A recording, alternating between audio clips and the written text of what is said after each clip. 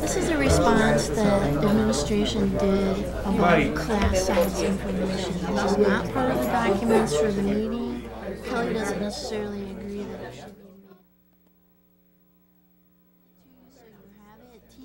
wants everybody to see it, but I'm not sure that they all have. So I have it on paper here. I don't know what you want to do with it, if anything. So what happens if,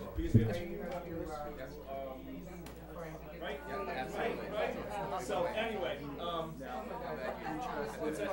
I've seen this already. I've seen it already. It's hard to read on, on paper.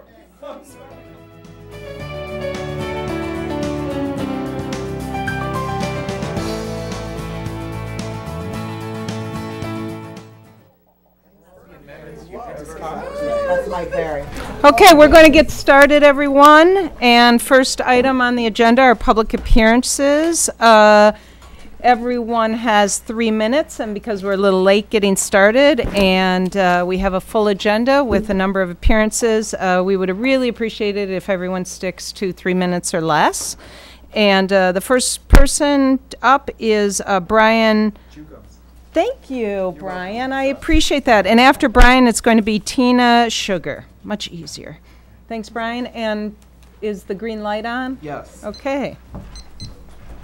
Do I need to lean towards either one, or are we, are we Put good? one near your. All right. I was just double checking. I didn't know if it was going to catch me. So, um, hey, um, thank you everybody for the chance to speak. Thank you, um, Dr. Cheatham, and thank you, uh, uh, Madison School Board members. Uh, my name is Brian Juchems, or Brian J. I'm the Senior Director of Education and Outreach for GSAFE, or formerly known as the Gay Straight Alliance for Safe Schools. We're based here in Madison, but do statewide work.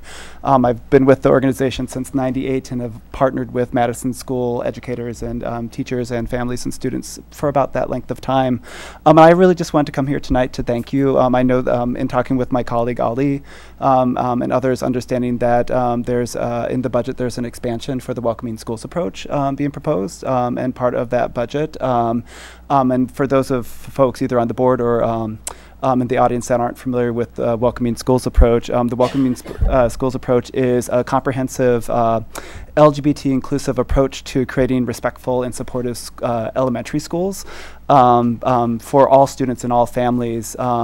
And what's great is that it's one of those, i it's an approach, it's not a curriculum, it's not like a whole new set of lesson plans or initiative. It really is just an approach to helping educators really figure out how do we talk about diverse families in our class or our elementary classrooms? How do we talk about LGBT topics in our classrooms in age appropriate ways? How do we do all that to prevent bias based bullying? Um, and one of the things that I know is that just historically, um, um, our K 5 schools have been under resourced on this topic. Um, I've been doing this work for over 20 years, and I know that this is the first um, tool that's been available to K 5 educators that has been really effective and supportive. I've um, attended many of the trainings uh, that have been available for the Madison School District over the last number of years, um, in part um, initiated by Bonnie Augusta, then Liz Lusk, and now Cherie Haas um, in those uh, respective roles. And I've really seen educators here in Madison really respond to the approach. And I think really, uh, like they're like, oh, we can talk about this. These are easy to use tools, easy to uh, use approaches, um, and um, I just really am appreciative uh, appreciative of um, Madison's leadership around this topic, um, and I really just want to encourage you to um, um, really support this expansion and really know that it is making a difference. Um, we know uh, one of the people that does work with uh, Dane County data, uh, Dr. Dorothy Espelage. If people are familiar with her, she's done a lot of work around bullying prevention. Like her message is consistently like we need to start at the primary level to really start to address gender-based bullying and harassment because we know if we don't address it then um, and help students learn how to be respectful of each other, we know that that leads to sexual harassment and um, among older students as well as adults. So really investing in this primary education and this primary support, um, um, I think is going to be really critical for the district. Um, and I've, as somebody who's certified uh, as a welcoming schools facilitator, I wouldn't be doing the work, but I've seen the work, the impact that it's had in school districts across the state and country. And I just again want to thank you for really supporting this expansion and supporting a population that is often underserved. So, thank you so much. Okay. Thank you, Brian. Uh, Tina will be followed by uh, Blake Hammond. This is my first time, and I'm really nervous. I'm just going to tell you that. But I will say that I've taught in the district 22 years, and I'm a graduate of Madison East Side High School. Go East Side. Um, so I've been in the district forever and ever and ever. Um, and I want to talk today briefly about class size. Uh, I want to promote TJ's. Um, um, work on class size 26 still seems like a lot. I had 28 in my classroom this year. I was one of only three uh, or so in the entire school district that had 28 kids in her fifth grade classroom this year. And what broke our hearts when a, a a staff member of, of mine we went to see g2 schools because we're a G, g3 school. I'm very excited about that. There was a fifth grade classroom that had 17 children in it and it broke my heart. Because i knew that my 28 were back at school getting like 10 minutes a day of my time instead of I, we did the math 17.6 minutes of my time.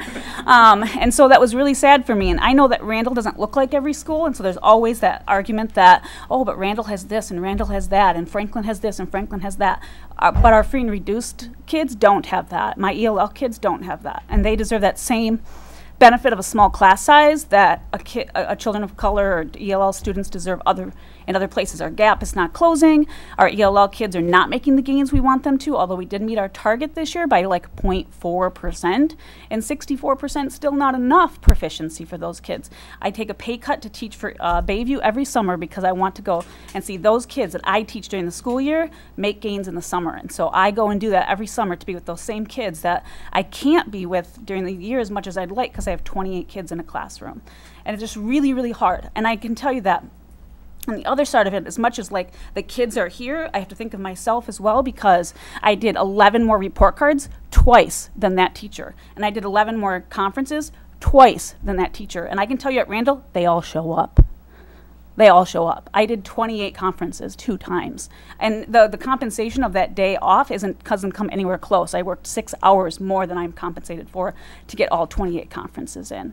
And so it's really difficult to think of all the time and energy spent that could be spent towards better things. Because I know that that six hours I could have planned better lessons or done really great things for my kids um, that I couldn't spend doing that. Not that I don't love meeting with my parents, because I do, but um, there's just so much more work when we have so many more kids. I have so much written here. I'm not like following any of it. Um, I was like this morning, and one of the things I wanted to say in the end is that part of the issue is that at 28 kids, I had a spread this year of MAP scores at the end of the year. My lowest MAP score was 185, and my highest was 279. And I never got any interventions for the kid at 185 because we don't have any interventionists. And I never got AL for that kid at 279 because he didn't qualify at the beginning of the year. And so I was teaching kids at a second grade level and kids at an eighth grade level in one classroom of 28 children. And that's really, really hard. And do I think I did serve them well? As well as I could they all loved me when they left, but it wasn't enough time for all of them. And I think that's mostly what I wanted to say. I think. Thank you, Tina. Uh, Blake, followed by Ali. Muldrow? Uh, hello, and thank you guys so much for the opportunity to come in and give you some feedback and some uh, awareness of what's going on with me and the kids that I work with. Uh, my name is Blake Hammond. I've been for five years working at West High School with the community based special ed program.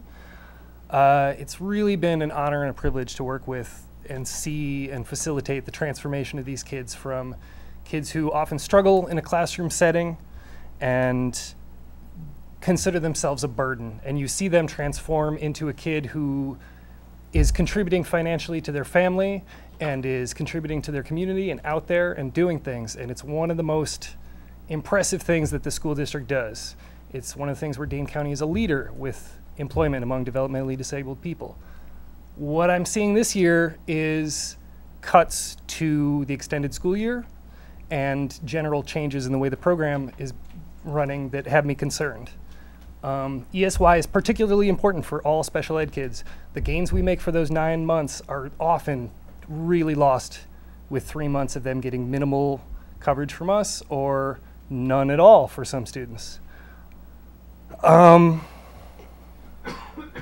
yeah, uh, so the cutting of, of ESY hours is a huge detriment to these kids and as also the, the staff that works with them. I know many of my peers have gotten second, third, even fourth jobs, and we've already lost two people. Two of our more experienced and veteran staff have had to move on to other opportunities that could guarantee them hours throughout the year and have a more stable life. Um, and if they can't have that, we're going to lose more. And while that might save the district some amount of money in the short term with cheaper, younger people doing the work, um, the loss for these kids and for all involved is not insignificant. Um,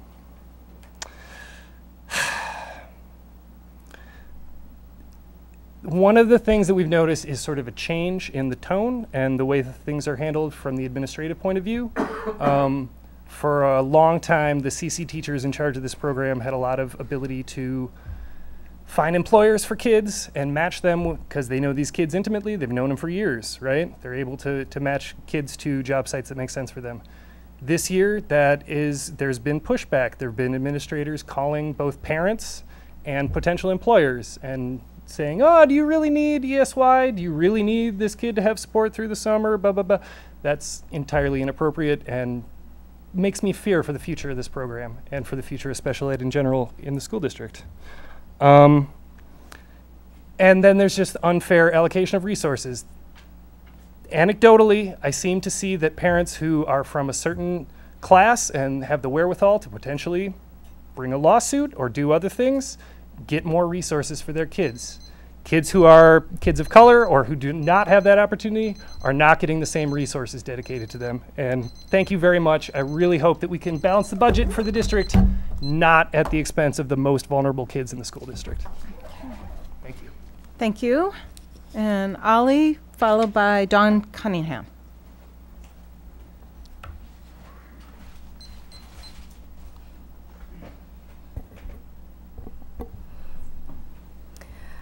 I want to start by thanking you all for your leadership. I greatly admire the people who make up the school board and the administration of this district. I would like to talk to you about several things, possibly like zillions of things, but I'm going to talk to you about two things. Um, one is the consistent inve investment in the success and support of LGBTQ students, which is more important now than ever. Investing in welcoming schools allows our district to cultivate community that is proactively embracing young people and families that I identify as LGBTQ as well as giving our educators the tools to be successful while working with diverse populations of students and families, empowering the leaders, the leadership of our educators by promoting their ability to apply best practices when working with students who exist within a range of identities is relevant and important. Prioritizing LGBTQ youth takes resources, commitment, and understanding, and that is what Welcoming Schools allows. So I want to thank you all um, for, for expanding access to resources to Welcoming Schools. The second thing I'd like to speak to is classroom sizes. And I think it's important to have a really thorough examination of what exactly we're promoting in terms of outcomes when we're talking about smaller classroom sizes.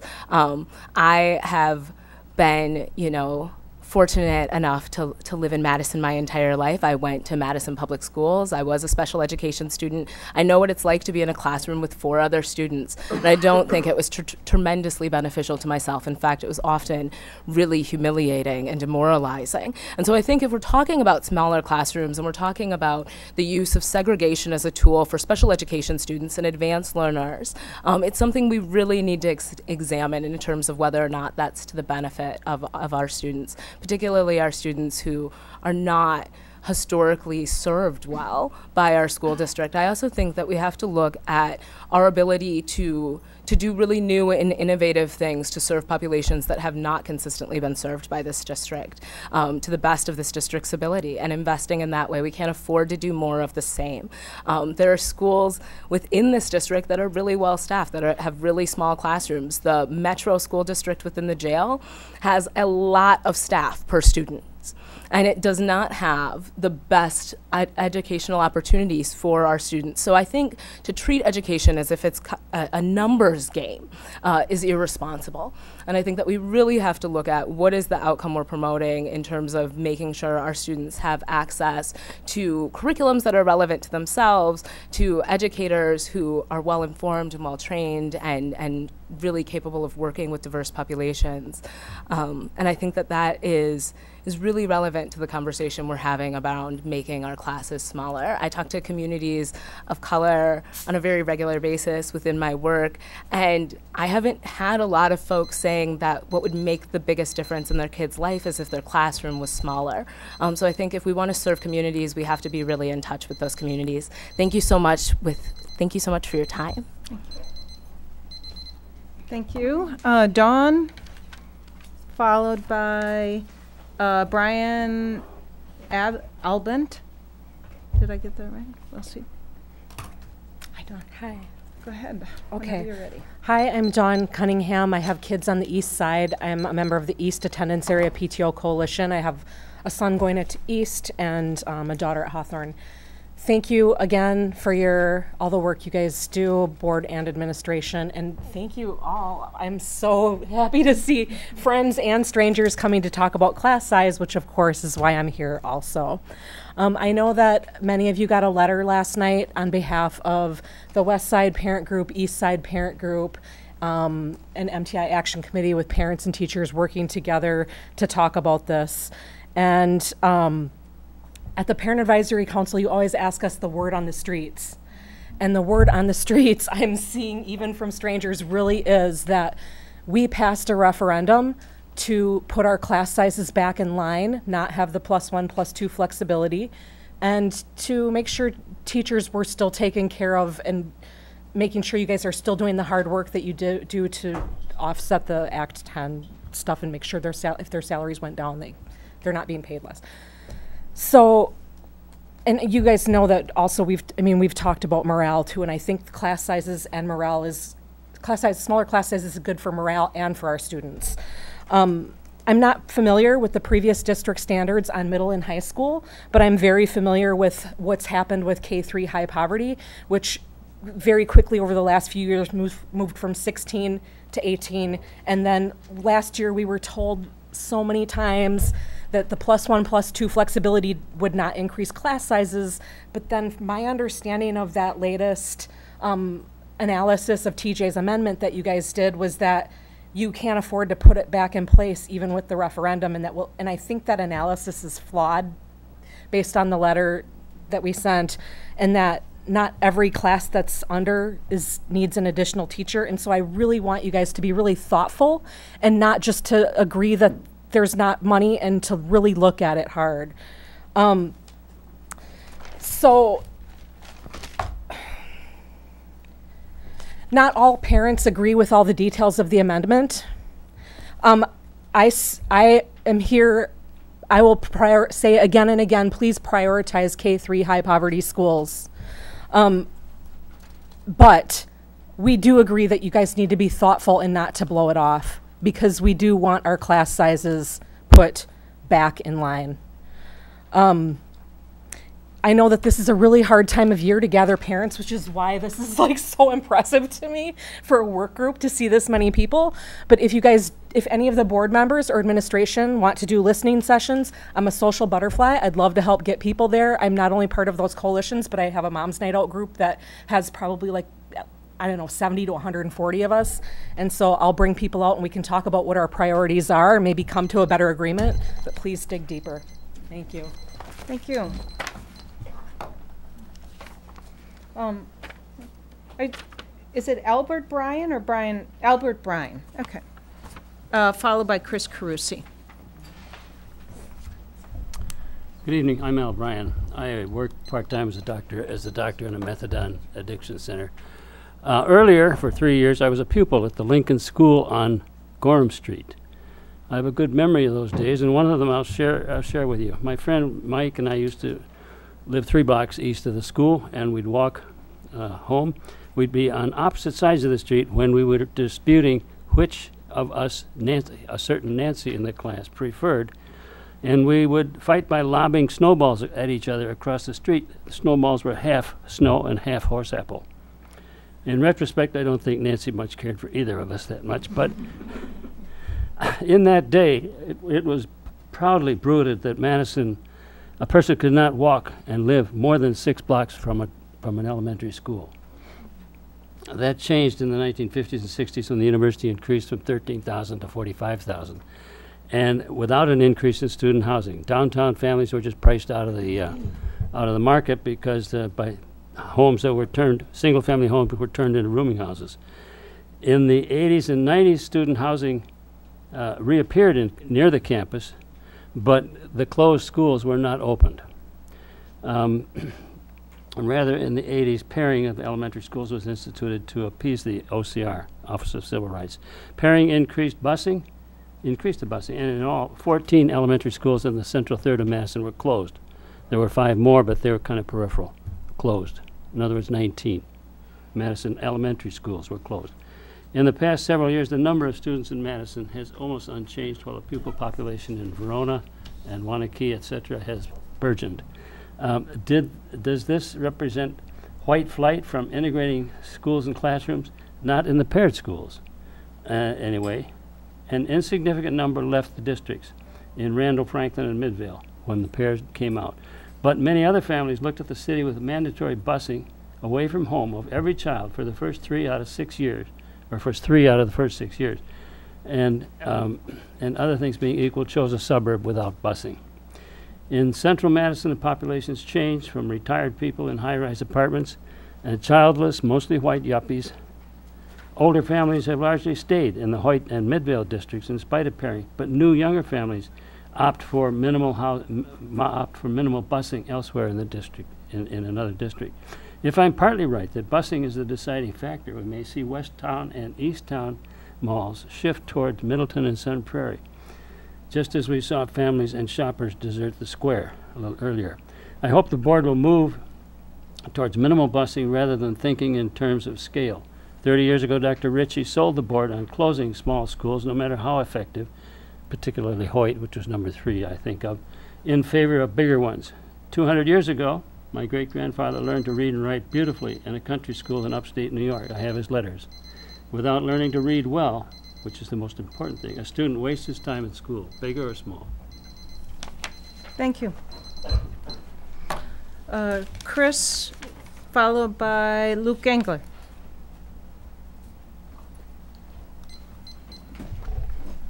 Hello, so I am here to talk about class size this evening, and I want to thank you all for taking this issue seriously, for having it on the agenda tonight.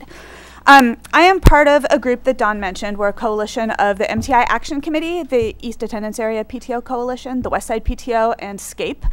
Um, and we've been working together because we believe strongly that reducing class sizes will create better learning conditions for our kids as well as better working conditions for our staff and will create the conditions that we need to innovate and um, differentiate and meet the unique needs of children in our schools. Um, because we weren't able to access current class size data to get our work done, we went about doing it ourselves. Um, at our MMSD elementary schools, staff and parents gathered um, data for two thirds of our 32 elementary schools by section, and um, I emailed all of you the data that we collected. Um, based on this research, we estimate that the district will need about 44 more sections to meet all of the K-5 caps that are put out in the um, budget class size amendment. And that's using the definition of high poverty that is in that amendment. Um, we pretty feel pretty confident in this figure. It does differentiate between ELI and DLI at all of our um, DLI ELI schools, except for Chavez, where we don't have data. Um, with 44 sections needed, we're not talking about a few outlier classrooms that are too big. Um, it's going to cost the district almost $4 million to implement this if we do this at ele every elementary school using the caps and the definitions of poverty in the amendment. Um, the 12 teaching positions that are flexible and currently in the budget could cover a million of this 4 million. That's a quarter. Um, there are um, another possible area of cost savings include the early approval priority actions that were um, not approved in May that I think totaled about half a million dollars one possible way to pay for this. Um, personally, I think that we should postpone our dive into middle school reform until we've got pathways under control. And postponing that could save some money as well. That would be both middle school reform and the new report cards for middle schools.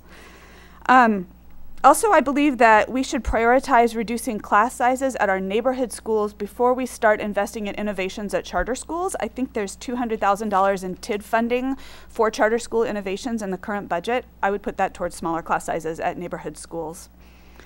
Um, furthermore, reducing class sizes versus other priority action items in the budget doesn't have to be a zero-sum game. One of our priorities as a district is to try to bring in more teachers of color, more black and Latino teachers particularly, and I think this is really important. If we're reducing class sizes and hiring more teachers, this is an opportunity to do that. Um, So the bottom line is that re- restoring class sizes to the levels we had a few years ago is an important issue for many, many staff, parents, students, and community members. Um, research has shown that reduced class sizes is one of four school reforms to pr- um, proven to increase achievement. And so I thank you for taking this seriously and exploring the possibility of doing it in this budget cycle. Thank you. Great, thank you. Uh, Luke, our last uh, speaker. Doesn't mean you get more time though, Luke. all right, all right. All right. Well, good to see you all. Thanks for um, having me here and everybody else as well. Uh, I'm Luke Gangler. I'm a sub in the district, a member of the MTI Action Committee. Um, I'm really excited that uh, I think that you all are wanting to talk about class size and are really looking at ways to um, to address that in this budget cycle, and I'm really excited about that. So I'm not really here to tell you to do something other than I think you're already interested in looking into, just to encourage you in that. Um, this is important to me, I guess.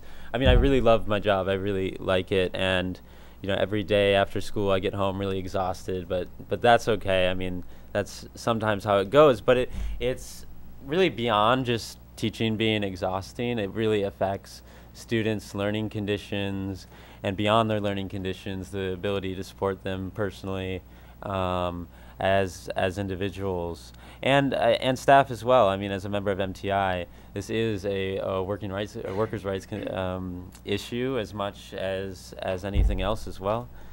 Um, but one of the most effective ways to address, you know, the, this problem or I don't know, boost test scores, anything that you might want to use public education to do, is to foster a classroom environment that is supportive, safe, um, and uh, you know engaging. And I don't think, you know, I mean, that's not something that you need a peer reviewed article to, to know. I mean, that's just how it is. Although they do exist for people like TJ who might be interested in, in that kind of thing. Um, anyway, but um, I, when, my main thing is I think when thinking about this, if we shouldn't think about it as one of many innovations that has been proposed that we're kind of choosing between in the budget. Um, class size is a fundamental aspect of any classroom. It's not an either or. It's a um, decision that has to be made. You know, um, I'm not, I'm not at all suggesting we should do, you know, use this as an intervention. Just looking for reasonable class sizes, class sizes where you can um, support students. And I think that we're well and beyond that in many, many of our classrooms. But anyway, so I think instead of thinking of it as an initi- or initiative or innovation, it's a fundamental aspect. And so on the one hand, we've been rolling out innovation after innovation, and on the other, I think that we've been losing sight of the fundamental aspects that make our, our schools um, function well. And so, I guess a, in in a way, TJ, um, I think all of you got this, uh, did some research, and there's been 64, I think, new non-union professional positions, and well, you know, we've lost I don't know 100 some teachers in the last few years. So I guess I'm really concerned about that direction, and I think that you know I really appreciate if we focus on those fundamental things like class size in this budget. Thank you. Mm-hmm. Thank you. Okay. We are on to the next uh, item in the bud uh, in the work group tonight, and that is going to be um, the approval. Okay, so um, we will be uh, moving on past the minutes for today and on to the discussion item, which is the 2017-18 MMSD proposed preliminary budget review and input, and we are going to start with a quick, in Mike's words, presentation. Want to just see what quick means to Mike. All right. Uh, Mike is going to join us. Lisa Kvistad is also going to join us up here. Mhm. Um, and I'll say a couple of words while Mike is getting us ready.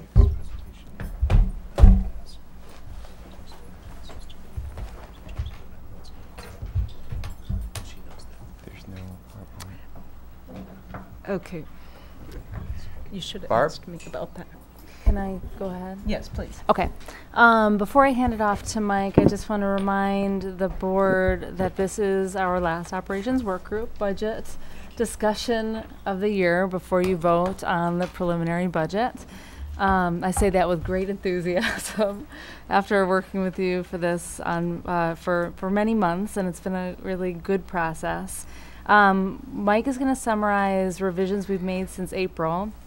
Um, and as Mary said, he'll be quick about it um, because largely our meeting will be focused on uh, fleshing out um, and discussing possible board member amendments.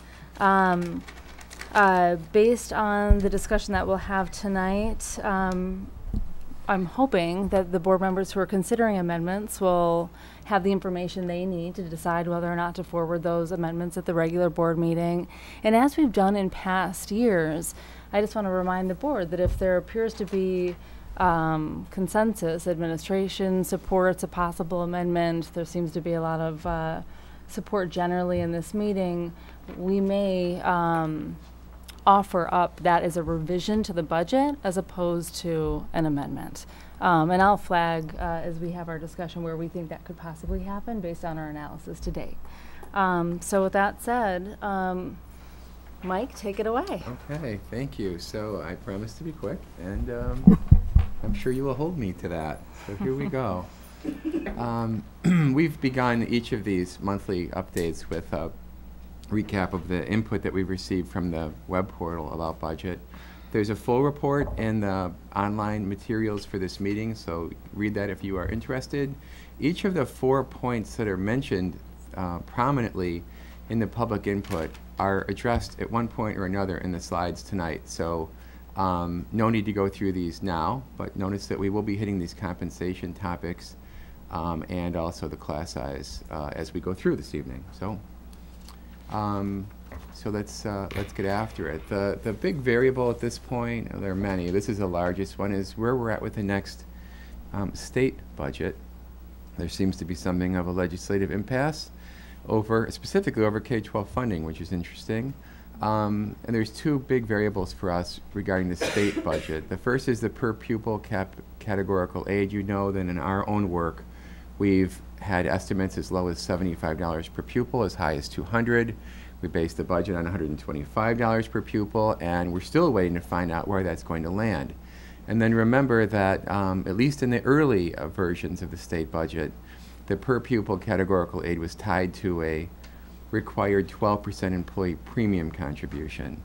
And we have a plan for that. We've discussed it conceptually at the board level to say that we would find a way to reallocate the employee premium contributions that come from employees back to employees in sort of a hold harmless strategy. That is all yet to be determined. The other from the state is state equalization aid. This is the second largest source of revenue in the budget.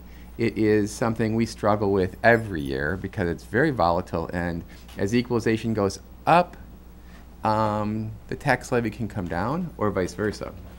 It's a kind of a seesaw effect there. Um, we're concerned about equalization aid because it does affect the tax levy.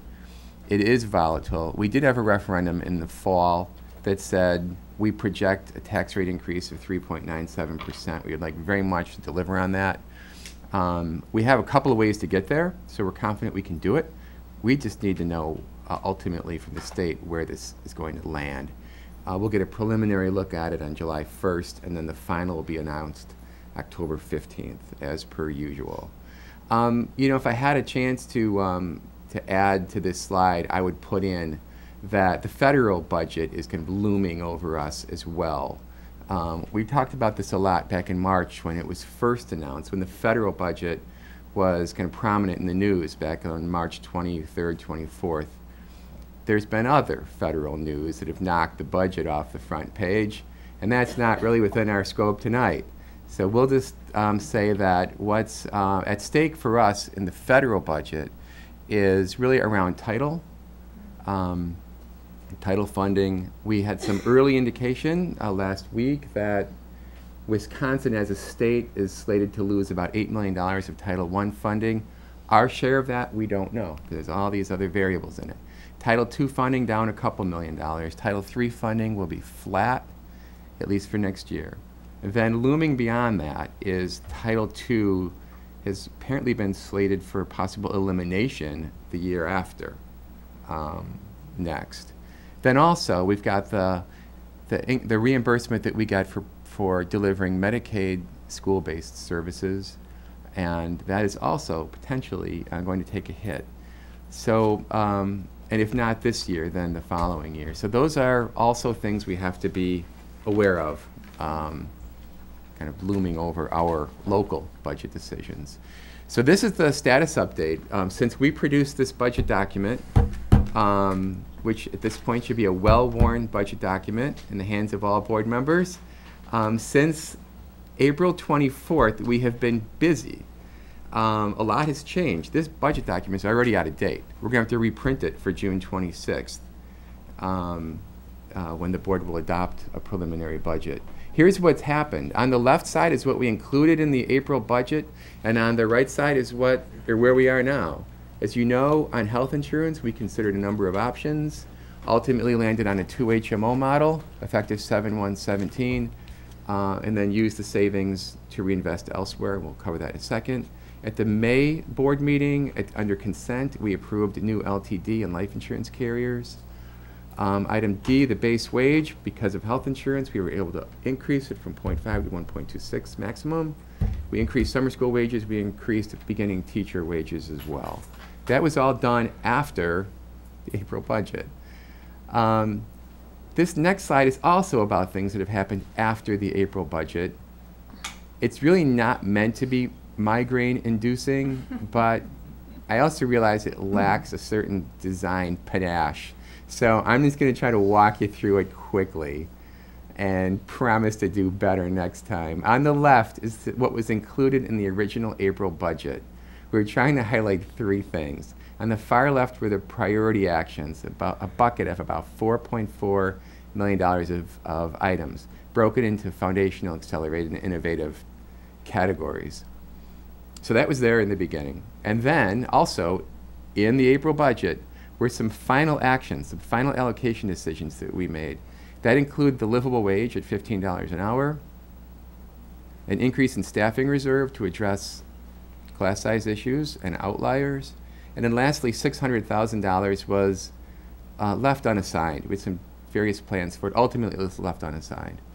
So then, again, moving to the right, our budget status as of April 24th was we had um, a balanced budget with a million dollars of reserve uh, built into it, million dollars of, of flexibility. And then moving to the right, since then, um, responding to input, we've made a couple decisions. These were April, May decisions. We increased funding for advanced learner plan, It was about 218,000, and also the BEP, that was I think 498,000.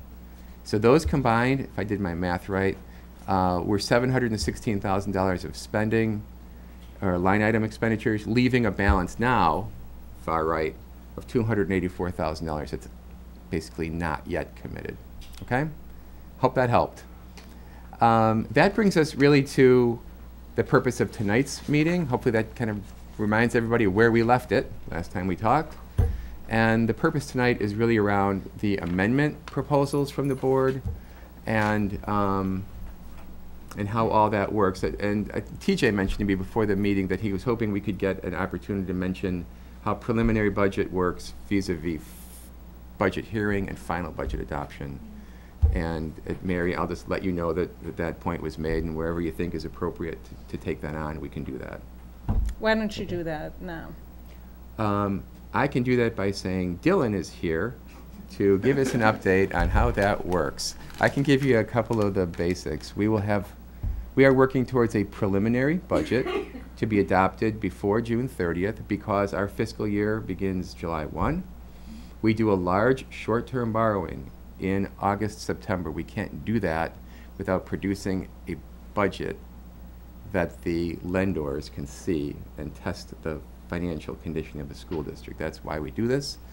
Uh, it's the most important reason why we do this. Also, we're spending money as of July 1, and we have to have some authorization to do that. Um, then, come October, we'll have final information on enrollment, equalization aid, state budget, so on. Uh, we will bring you an amended, bu- we will bring you an updated budget. Um, we will conduct a public hearing on that. We will bring you a tax levy. The board will vote on that in late October. That becomes then the original budget for the 17-18 school year. It replaces this preliminary work. And for the board members who are new to the process, uh, that means yes, we're doing this again in October. so this is the preliminary budget. Final happens in October. Dylan, is there anything that I left out of that that is worth mentioning? Apparently, yes. Just kind of. Okay. I know the two points TJ wanted to get to. Um, So the original budget is then our DPI required budget, which we have to have by November first. Amendments to the original budget, which is voted in October, are the changes that require then a two-thirds vote. So shifting from preliminary to original does not require the two-thirds vote. Shifting from original to original B would require the two-thirds vote, because it's always a question when we amend the budget. We very rarely have big budget amendments, right? Because those are actually shifting funds in very high-level lines of the budget using the DPI format.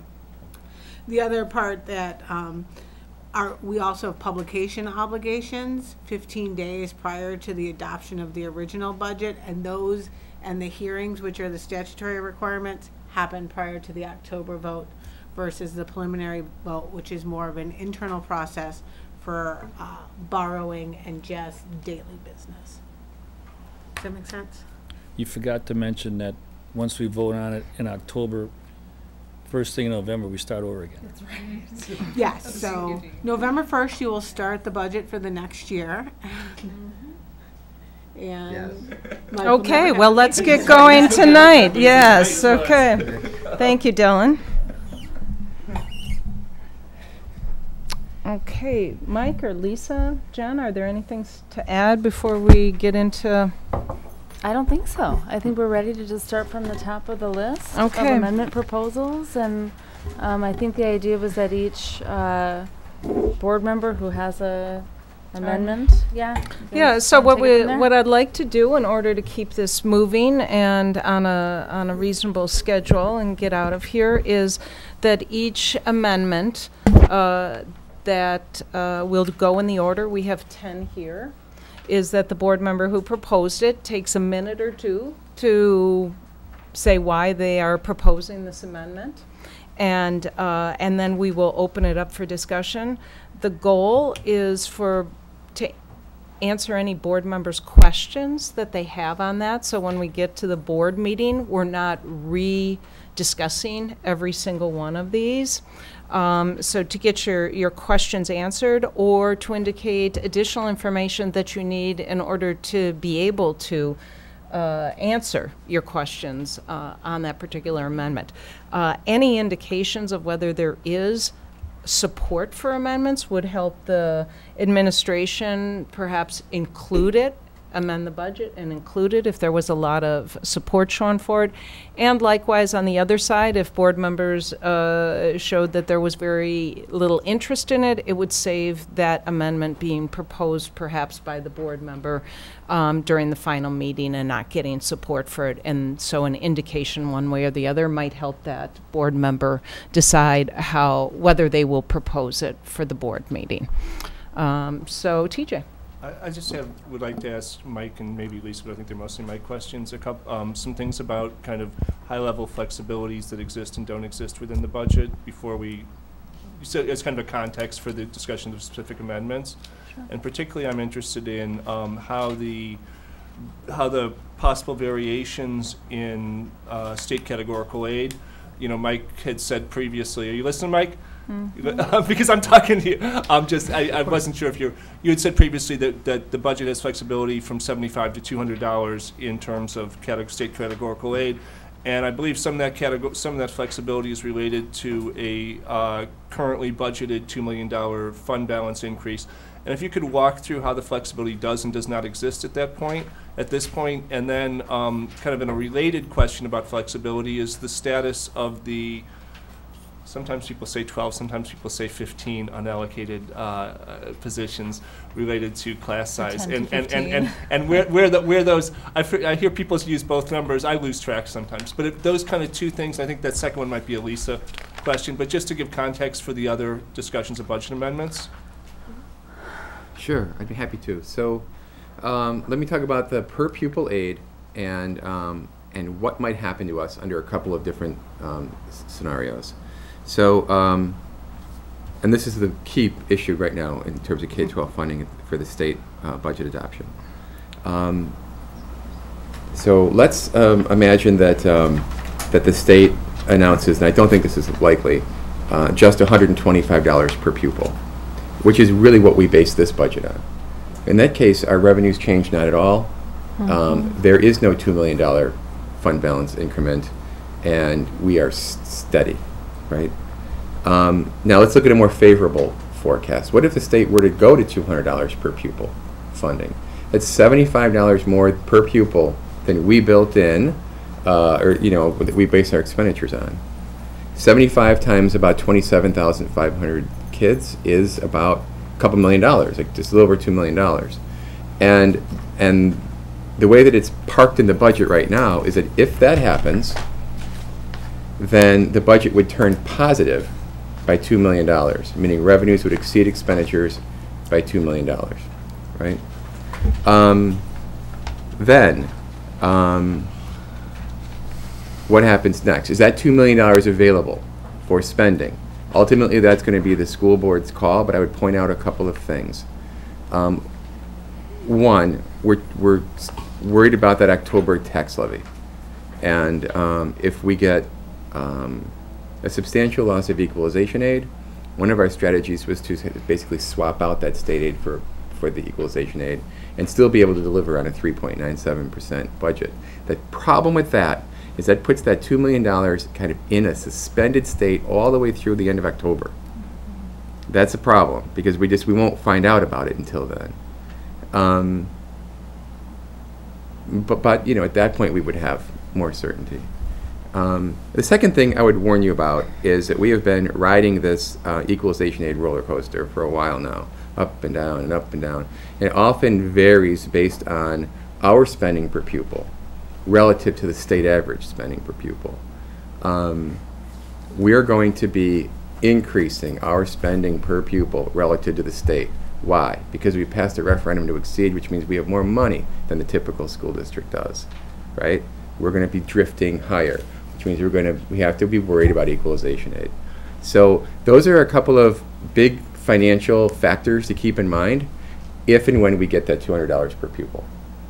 Does that help? Yeah, no, it does, it Okay. does. And, and, and I understand that there's a lot of uncertainty around this, and I just wanted to have, you know, clarity, and I, and I'm not gonna be sitting there and I go, spend the damn two hundred million, two million dollars. I, but I just wanted to know where it was and kind of in terms of a calendar Yeah. for when, um, different understandings of its availability or un- unavailability will develop. And as you said, we- the final won't be till the October certification. I think that the, uh, provided the budget is passed on time, the August, um, the August numbers should give us some sense of, well, some sense in the equalization aid availability, uh, that will, you know, that usually not a huge difference between August and, and, and, and October. It's, was it five years ago that there was like massive movement, but, but, um, in Okay, general. Are we, do we we're- have we're the done, stage we're set? done, we're Okay, done. good. Thank you. Then let's move on. Thanks, Mike.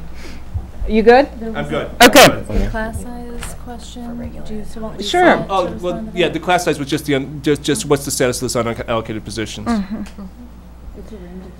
It, it's a range of 10 to 15. There Okay. is a bucket of allocation that John Harper keeps um, specifically for special education. It's about 15 to 20. Additional. And uh, in addition to that, to the 12 to 15. And then there is a small bucket that OMGE also has uh, for bilingual staff. Yes. Sure. Um, what, what has been the unallocated batch that has been held in previous years compared to this year? Have we, have we never had any unallocated floating around? Um, Mike, do you want to? Sure. Um, we've had some tough budgets, Yeah. you know, prior years, um, and um, we often went into the we we went into the July to third Friday of September window with about a half a dozen uh, FTE of unallocated for, for regular ed. Special ed's always had its own allocation. So, um, so two things. One, we're holding 10 to f- 10 to 15, depending on what, how you price them, right? Um, so we're in a much better position right now.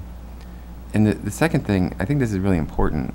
Um, we took a whole different approach to the workbook process back in um, February, March.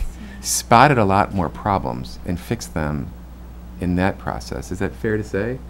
Um, So and use a so we think we're in we think we're in pretty solid shape. And ultimately, the September enrollment will tell.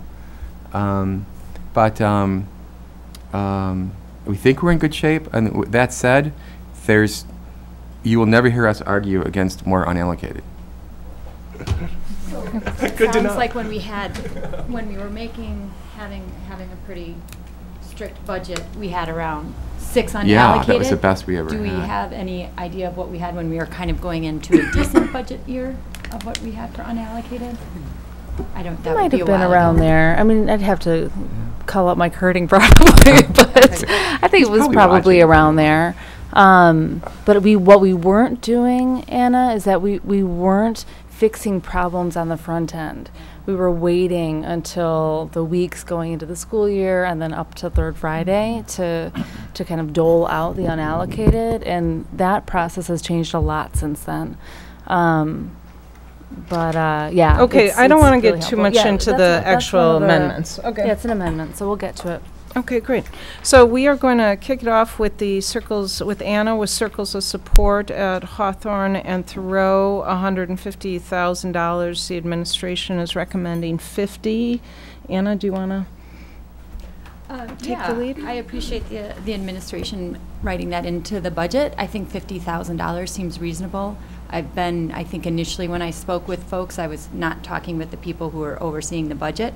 So in speaking with them, this seems like it's doable. I think it's provided some really positive results in both of the schools, particularly around con- connectedness, belonging, and I think those are just critical areas for our students.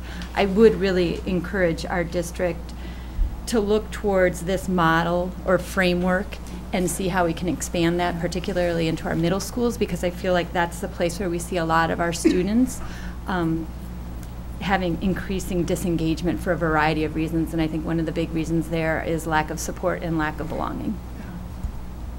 Okay, other board member comments on that? Okay, Anna, did you have any questions for board members, or? No?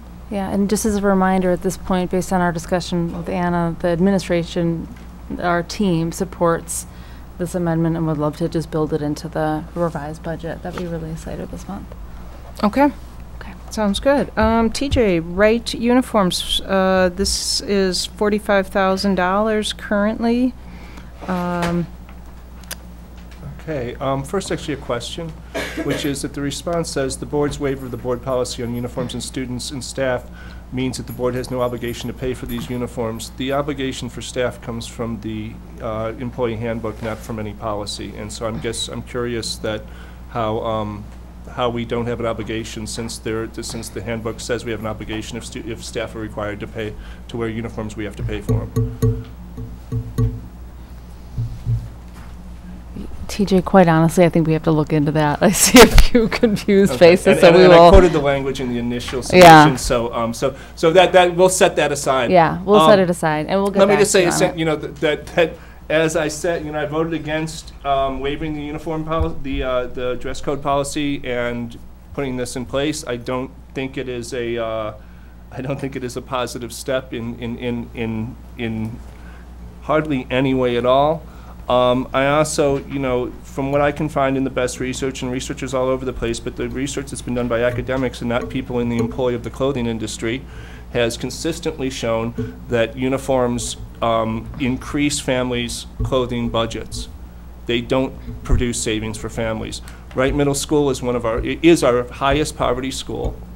And if we are going to endorse this policy, I don't think the burden should be put on our highest poverty families. So um, I would be happy if, if, if, if we reconsidered the policy and, and, and, and took it back, but if we don't, and I will be putting forth this amendment, and people can go on record one way or the other with it when the time comes, but this is one that um, I feel strongly that at least should come to a vote of the board. So that's, that's, um, you know, some of these here I may or may not put forth at the end of the month, but this one I will, so. James? Yeah, if we are able to uh, pay for it, um, I would support uh, us paying forty-five. what's the amount? It's forty, wait, thirty-eight K for students plus sixty-three hundred So if for it turns out we're able to do it, I'm I'm just saying that I would support it. Okay, Nikki? I'm also stating, I would support, I did also like TJ vote against the change of the uniform policy. However, I work with low-income families every day. I really do not want to make that burden worse on them if they're going to have to do uniforms. Then I think we voted for them to have uniforms. I think we need to at least pay it. Okay. Other board members, questions or comments? Okay, moving right along then. Number three is um, TJ. This is, um, this is class size, so we have already spoken bit about it. Um, Why don't you Yeah. introduce me, it? um, And I really don't want to say too much about this tonight because I find myself very much in the listening mode on this and, and, and the reading mode on it. And, but I will, and, and part of the reason I put this forward and put forward a relatively comprehensive package in terms of um, all schools in some sense and all grades in some sense was because I thought, I think that as a board, as a district, and as a community, that um, I think confronting the choices we have around class sizes and the choices we've made and the choices that have been, in some ways, we've, we've made consciously and unconsciously, is very productive. And some, one of the speakers tonight used the uh, term reasonable class sizes. And, and, and, and I don't think any of us would want unreasonable class sizes, but, I, but I'm not quite, but, but I don't think any of us, that there is a clear consensus either in the community or among the board or among the staff of what reasonable means and how to get it reasonable. I think we can move closer to that. Um, I think we can move closer to that both in terms of what we actually have in our classrooms this budget cycle, and I think we can move closer to that in terms of um, developing a conversation and something moving towards a consensus as we go forward into future budgets. So, you know, in some ways, I feel that um, I've already accomplished something by offering these amendments. Haven't accomplished enough. One of the other speakers said, "Don't blow this off." Uh, I really feel strongly that um, this is a matter of for advert, inadvertently, very much inadvertently in most of the cases, this, we have made choices the last five, even 10 years. The state's made choices. Choices have been made about, that have impacted the, the, the, the way class sizes are in our district. Um, average class sizes in the last five years have not risen greatly. If you go back 10 years, yes, they have. Um, I think my impression, and it's hard to get because as the back and forth about the data indicates, the data is very difficult to deal with, but my impression is that the quote outliers have increased, the ones that are above certain amounts. Um, you know, call, define it as a 25 for an elementary school or something, that those have increased. My impression is um, over, over time. I don't have hard data to back that up. Uh, so I think that at some level that, that, that some, that, you know, I hope to come after having listened and read and learned more, I hope to come with at least a, both a partial move that will not be blowing this off for this year. One that isn't four, five, six million dollars as this whole package is.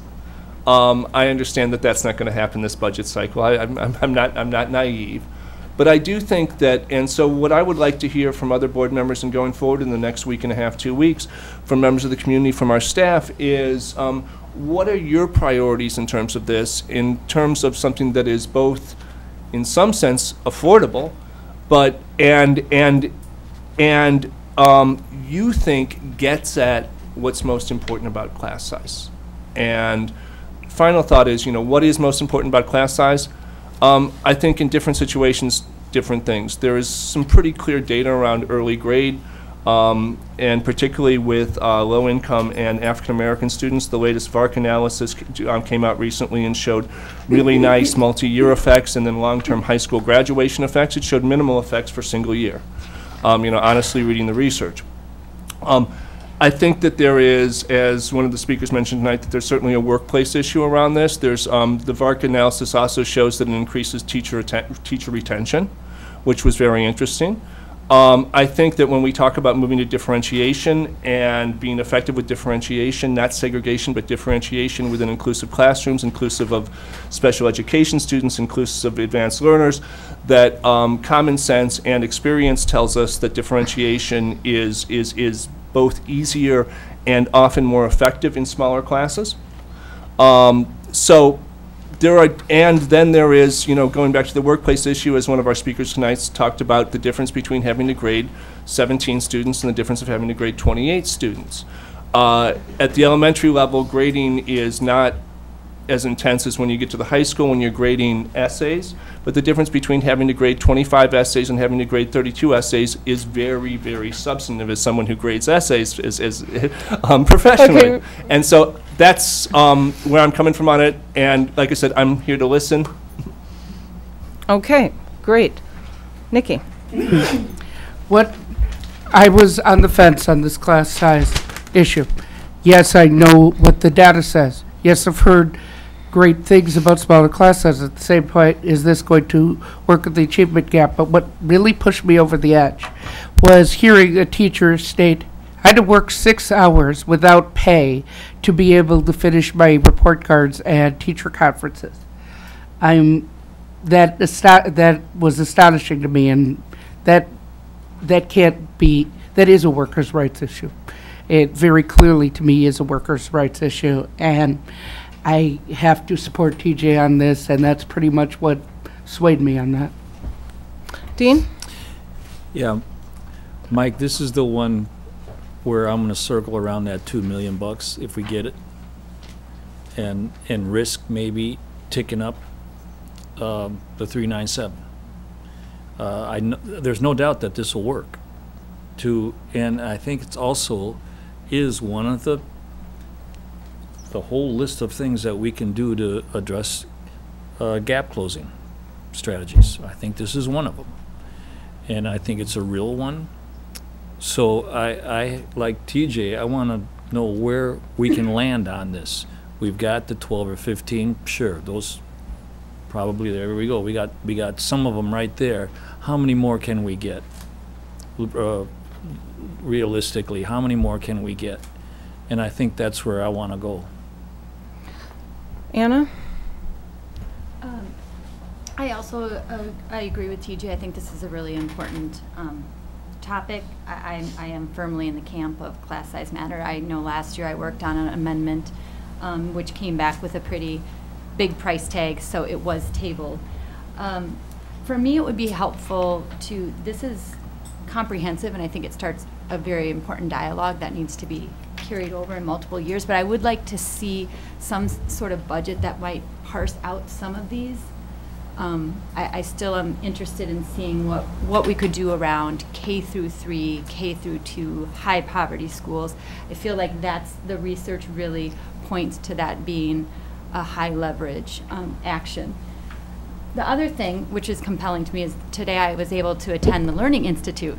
And, and one of the, the main speakers was talking about having a service delivery model and, and talking about how we could implement that. And something that struck me was that their model was really based on this idea of having class sizes set at 17 to 21. And if we would move towards that model, that would reduce costs and around having um, so many paraprofessionals serving in these different areas. And it, it would also really address some of the concerns I have around the segregation of, in particular, students with disabilities in particular classrooms because of um, making sure that we're in compliance with IEPs. So that was just another thing to reaffirm my belief that, that smaller class sizes are important. Okay. James, did you have your hand up? No? Okay. So, um, I, you know, I think i- i- it feels to me like we're talking about class size right now as as an outcome that we want, and I guess I'd I'd love to shift the conversation to, to using class size as an as an input. Um, to get an outcome, which is is you know for me as a parent is a deeper relationship between kids and teachers. I think a lot of us have talked about that recently. Um, better achievement data, et cetera, et cetera. And and so you know over the last five years, our class sizes have you know largely stayed flat. Elementary creeped up, I think. Keep me honest. Um, middle and high school, but our, our achievement data has actually gotten better. Um, and so I, don't I don't know how to parse that, right? I don't know I don't know what that means. Um, I know that our class sizes, one of the reasons we love to be in Madison schools, our class sizes are already smaller than I think most districts in the state. Um, and so I, I want our teachers to be compensated for the work that they do. We could do that far cheaper than four million bucks a year. Um, I would love to increase our teacher salaries more than they are. People know that I want that. We can talk about that separately. Um, I, and I want our, our children to have deep trust-based relationships with their teachers, and certainly an element of that is class size. And we have outliers.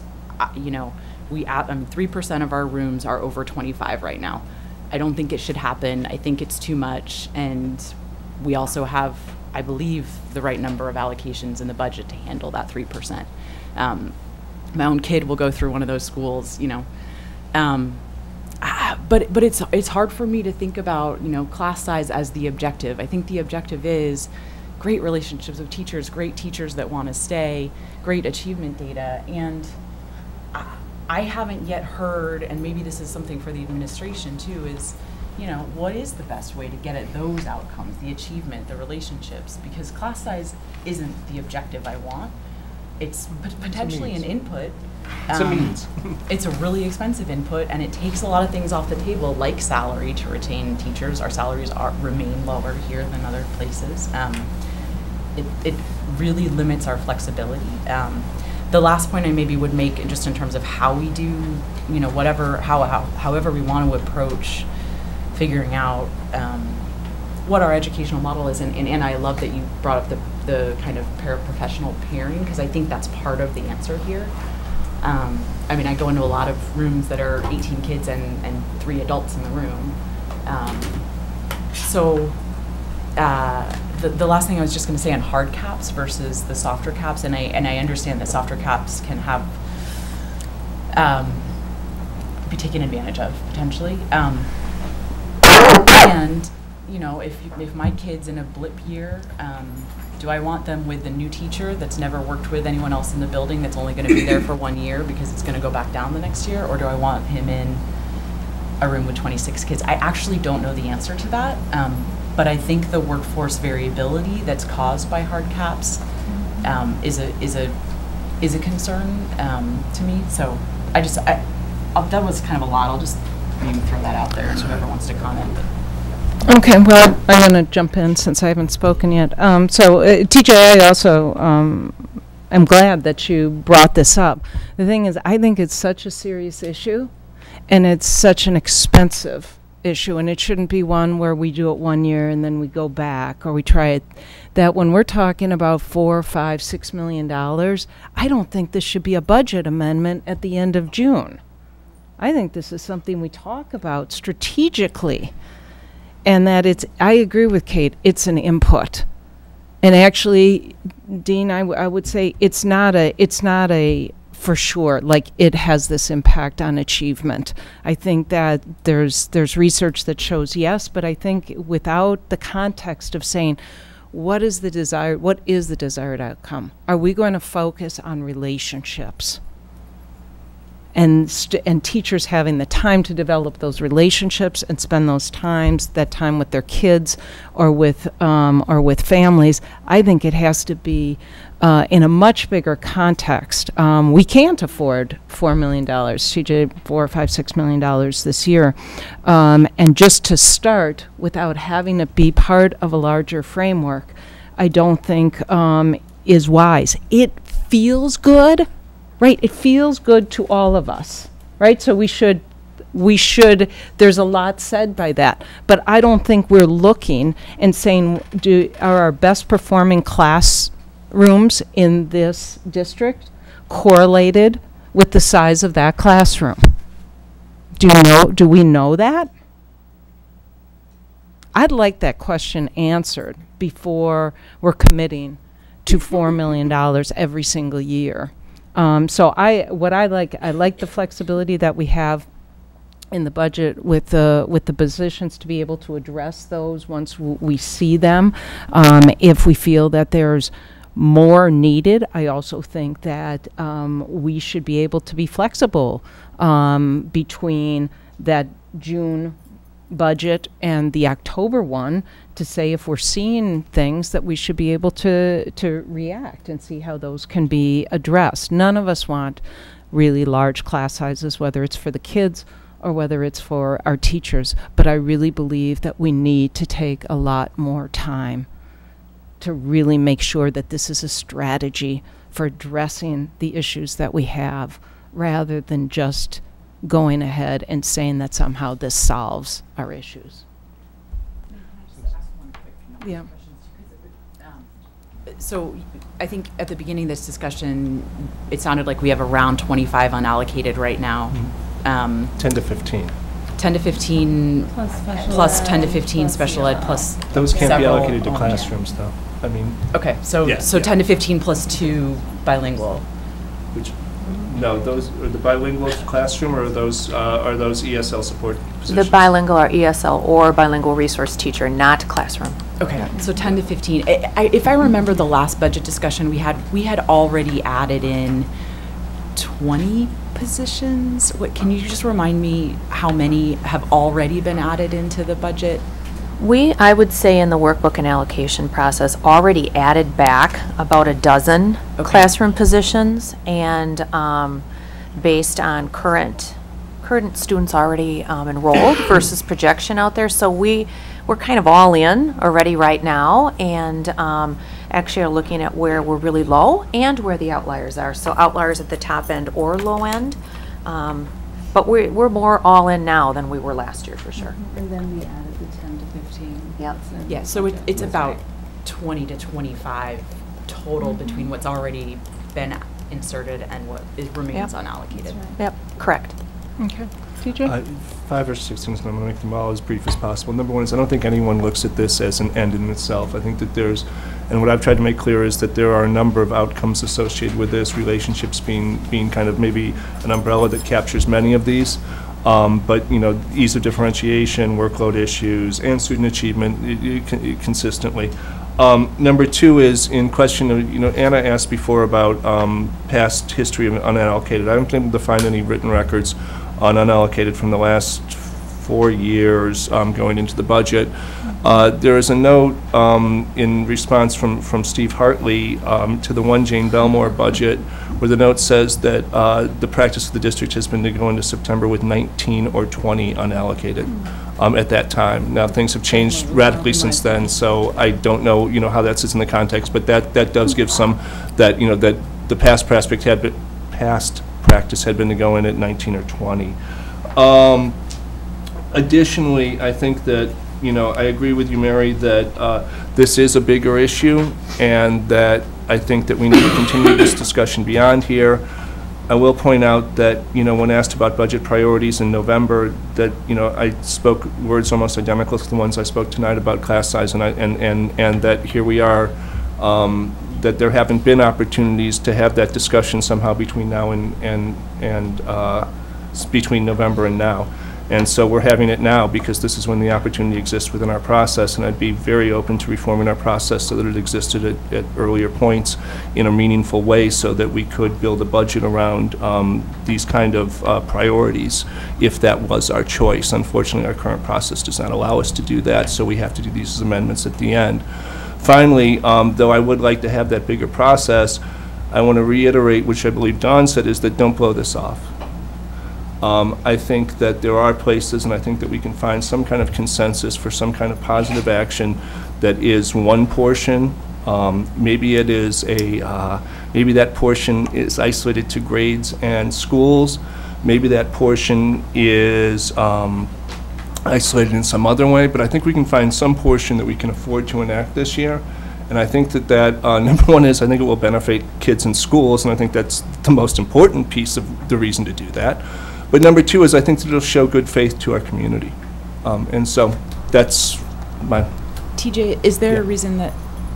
Yeah, go Did you- ahead, I- I was just, Yeah. it, it, um, we have a, several ways to do that. We could simply increase the unallocated pool. That's one of the Mike- possibilities. I mean, that- I think that's one of the, I think one of the possibilities that I'm playing with is, is increasing the unallocated, um, and linking that unallocated to, if not hard caps, something harder in terms of caps, or so prioritizing how those unallocated are used, um, dictating that, I think that that is a real possibility of, of, of something that I may be proposing. Not ready to propose it today. Yeah, I would be much more open to something like that and give okay. us That's some good to know. time. That's We're- good to know. we're Revisiting the strategic framework this next year, I think we Yeah. could have a much longer, more research-based, involve more parts of our community than have been able to be involved, and, and, you know, maybe link it with some of what Anna was talking about. I Yeah. would be much more open to something like that, so.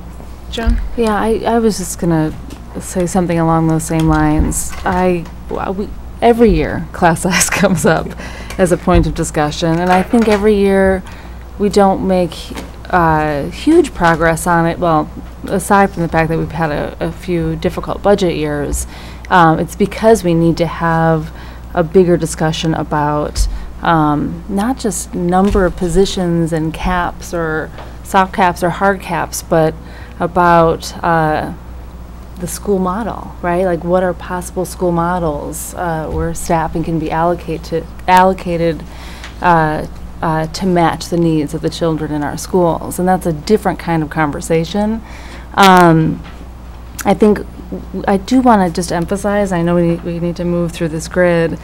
Um, that the the the budget that we originally um, the proposal that we originally put together on staffing um, did not include these 10 to 15 unallocated. That was in response to board discussions months ago about what we might be able to do to address the outliers that we saw. Um, specifically, we started with K to 3. Then, based on board feedback, we expanded that K to 5. So, this 10 to 15 was meant to address any outlier um, in our schools K to 5.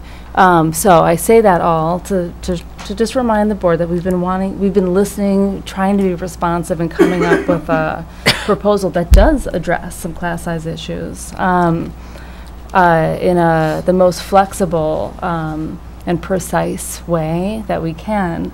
Um, and I too would always be interested in increasing the unallocated pool because things happen. Um, and uh, this proposal doesn't address, for example, any potential issues at the secondary level beyond what we already have. So I only say that because we would be open to um, expanding the unallocated pool in some way to make uh, more precise The adjustments. proposal asked for an analysis of the secondary level and really wasn't given one. Yeah. Um, so, I mean, that, I can't, i- if there's fault for the fact this doesn't address it, it's because I asked for what, I asked, I offered this and was told that, um, this will take one or two, and, Yeah. and, and so I, you know, I, if, if, if there was a number attached to it, I'd be, I'd, I would be happy, but there's no number attached to it, and Well, we'll so, keep working on um, it. you know, it does put us secondary, though, I mean, it- and it puts hard caps that are above what we're currently allocating at. Um, So. Okay, so moving on to four. Um, TJ Title I, it's neutral, but it's a difference in allocation of Title I. This will be very, very quick. Um, wh- I had a misunderstanding of one part of the Title I rules when I proposed this, um, and therefore I will not be proposing it this time, but I will be saying that I hope in future, in, in, in the next year's budget that explicit, we do have, not the choices I wanted to make around Title I, but we do have a number of explicit choices. We have a choice about what, what poverty number we use, which doesn't, in this particular year, change the schools that are assigned Title I, but it does change the distribution among the schools. Um, For instance, uh, if you use the other poverty numbers, if you use average dollar per student in poverty, um, our current, if you switch to traditional poverty numbers, uh, Leopold would get $80,000 less. Glendale would get about 30,000 more. These are choices we make, or choices that are made for us.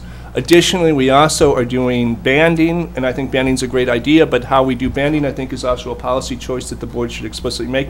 And finally, um, this year, we are shifting money again from elementary to middle schools.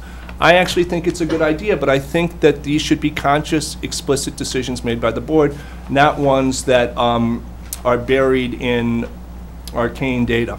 So um, I will be withdrawing this, but I hope that Title I is more central to our discussions in future budgets. Okay, so then on to number uh, five, that is Anna, um, point five FTE special ed uh, Eng- ELL recruiter, $60,000. Sure. I, you know, I put forward this budget amendment again to, to start a discussion. I, I put down point five for these two areas because these are the areas that we seem to have the hardest time in filling. We're filling these positions late. It's very disruptive. And it's working with students that have more complex needs. Um, so the reason I put it as point five is because I always like to test something to see if it works before I would invest in it. And so I thought, well, let's see if we use a targeted place, if this increases the pool of applicants and the quality of the applicants that we're bringing into our schools. Um, so that was really my rationale for it. Uh, I think Kate had her hand. Yeah, no, go ahead, go ahead. I, I didn't see your hand. I was looking at the. Um, I was just going to comment, and I guess the, the it looks like the district is recommending doing this at one FTE. I would support bringing in a recruiter to the district. I am pretty excited about bringing in some just more. I think uh, it's really hard to attract really great candidates, particularly from underrepresented minorities, when um, we're not putting feet on the street to do that. Um, and it's a challenge for our district. We'll talk about it a little bit later with the affirmative action plan too. But I think it, that, you know, going back to what are the levers that that really do drive relationships. And we heard from a student last week who spoke to um, uh, a rally that West students had two weeks ago, maybe. Um, And you know, the rally was was asking for more students of, or teachers of color um, because that was how they felt like they could develop relationships with their uh, with their with their teachers. Um, and so I, I, would really like to invest in that to, to, to really try to make a push um, to significantly increase um, our hiring in those areas.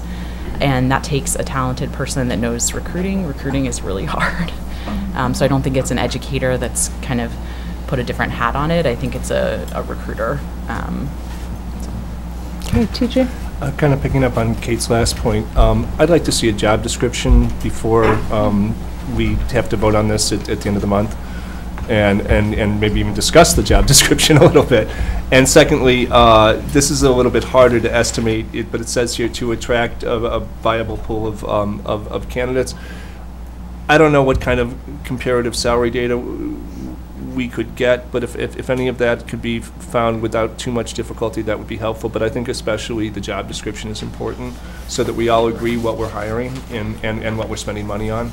Um, James?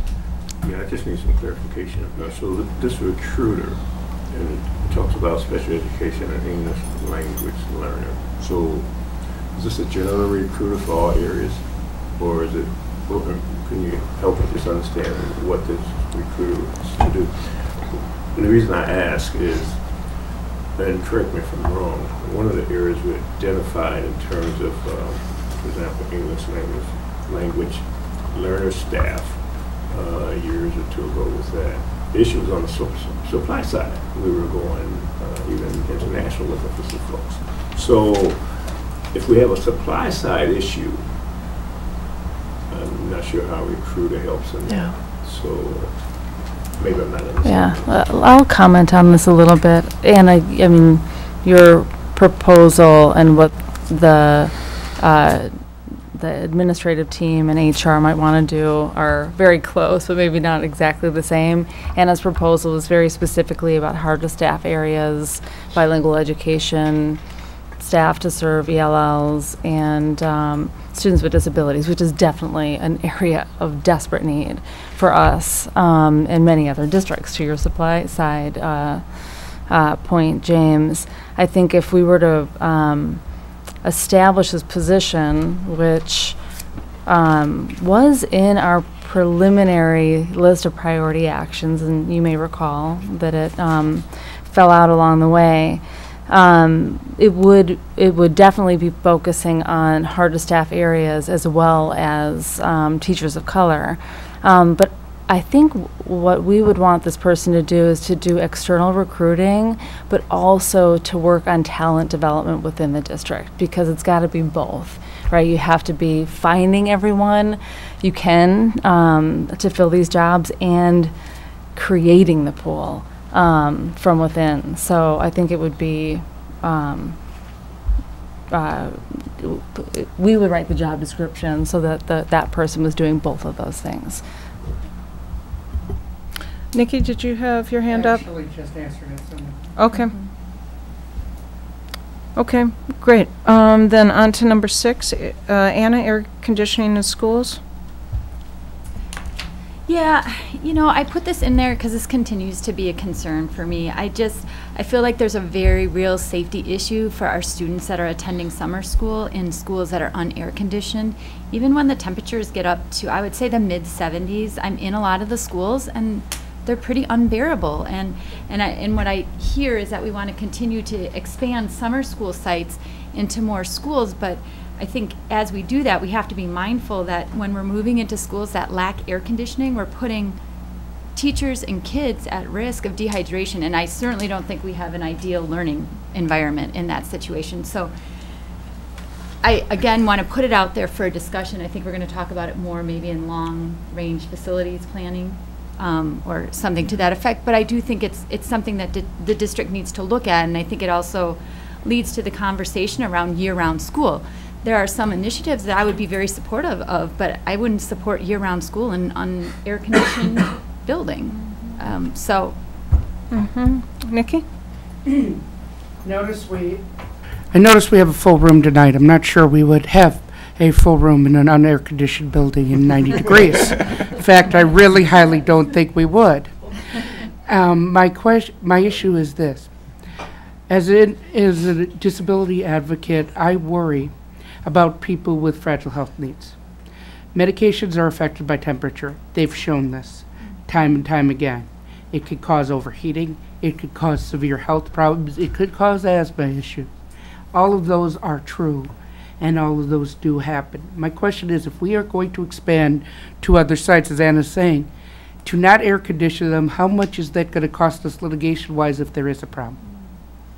I hate to put it in that blunt terms, but very simply, it, if there's a serious problem, it doesn't take long for something to bad to happen. And I just think that to not be prepared to that could end up hurting the district rather than helping. I know it sounds extreme, and people are like, oh, it's a luxury. But if you're struggling to breathe, it's not a luxury, it's a necessity.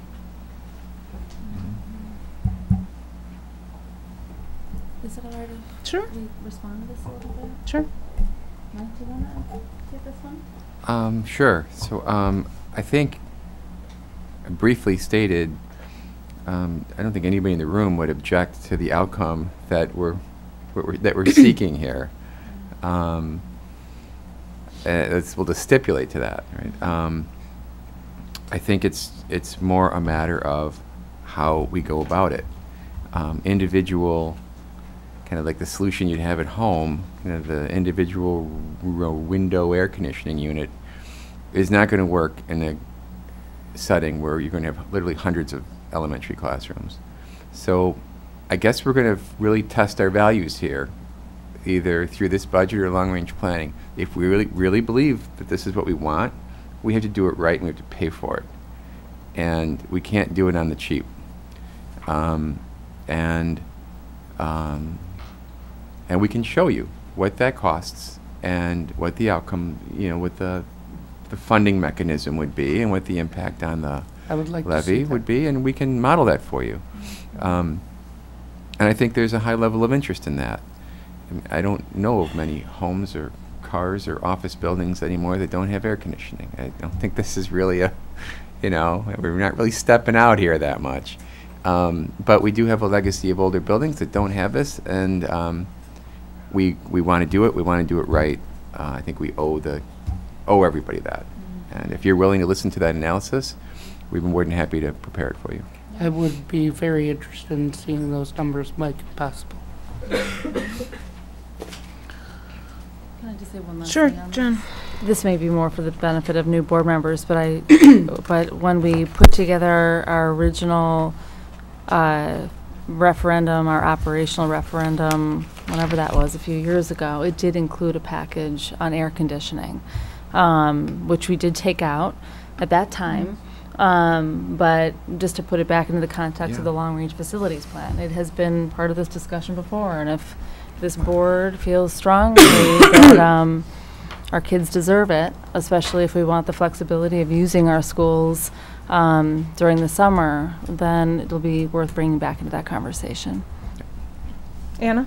And I would just say, you know, if, if that is part of the long-term discussion and we're, and we're getting information in that analysis, then I would remove that budget amendment. Okay. Okay.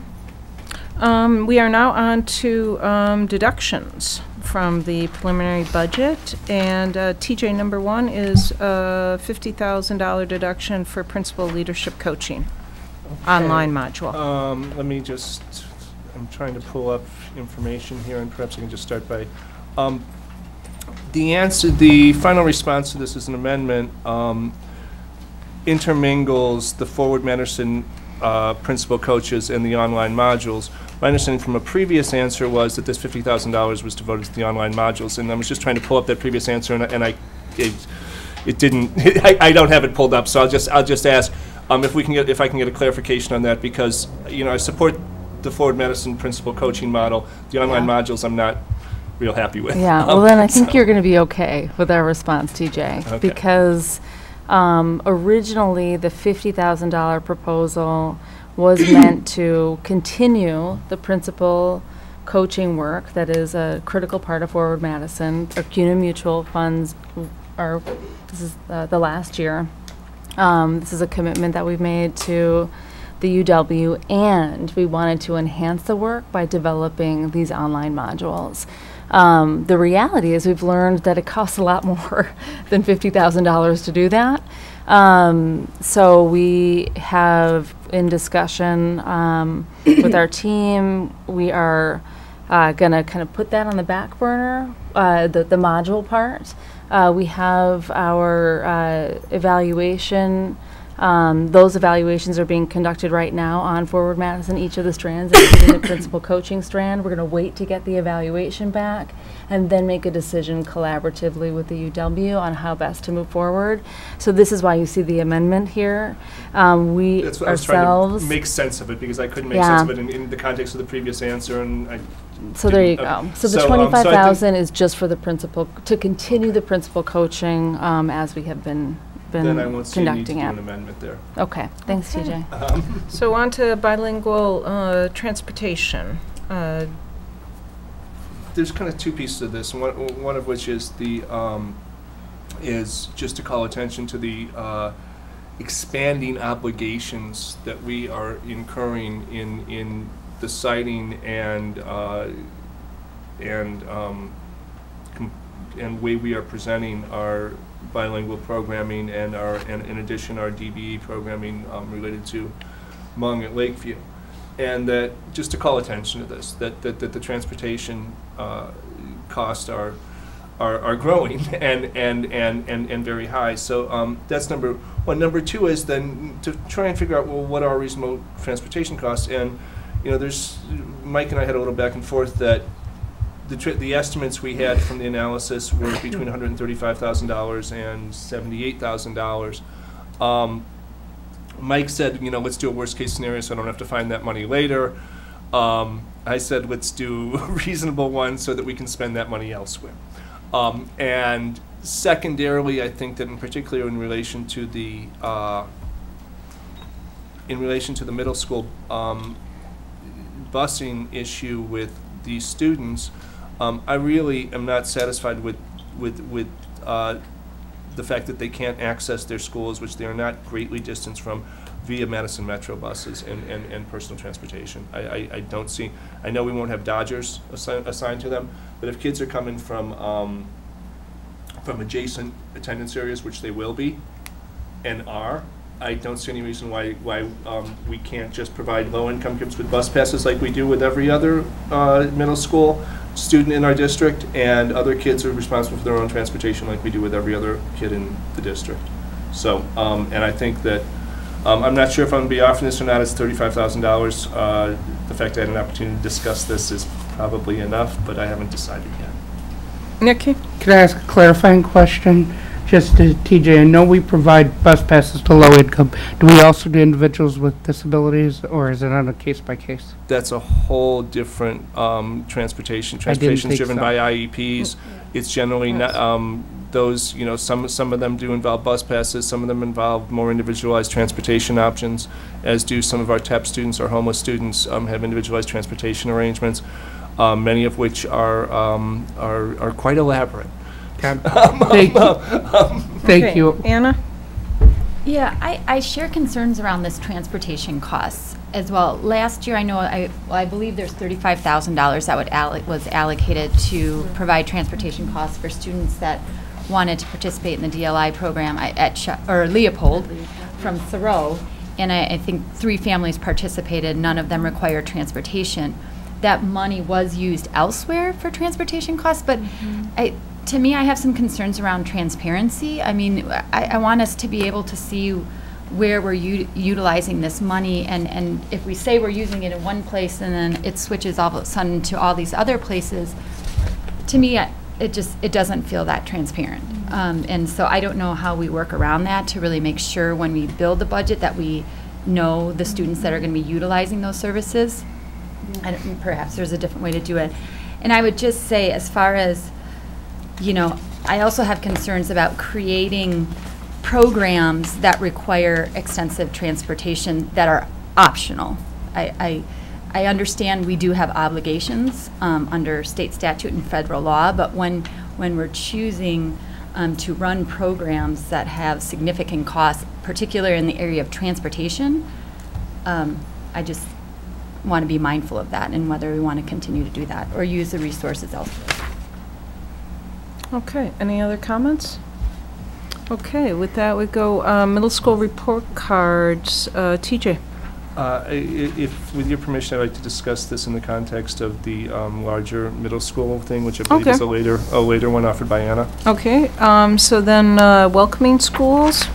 Um, yeah, uh, there's a few different pieces to this. Um, as I said in a previous budget discussion, uh,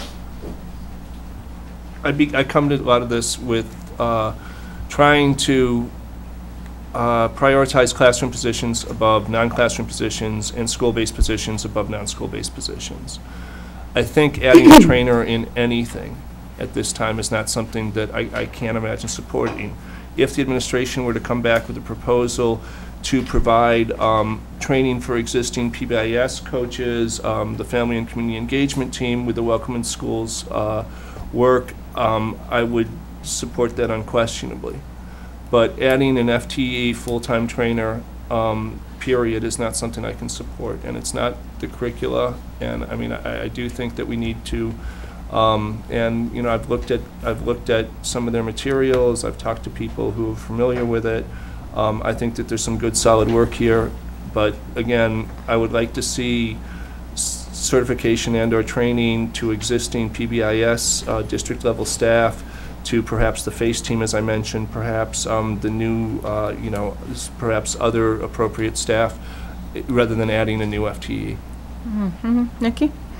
I, although I prefer classroom teachers, and I will admit that, bullying is one of the major issues in my life, in other lives, in my students' lives, and my clients' lives.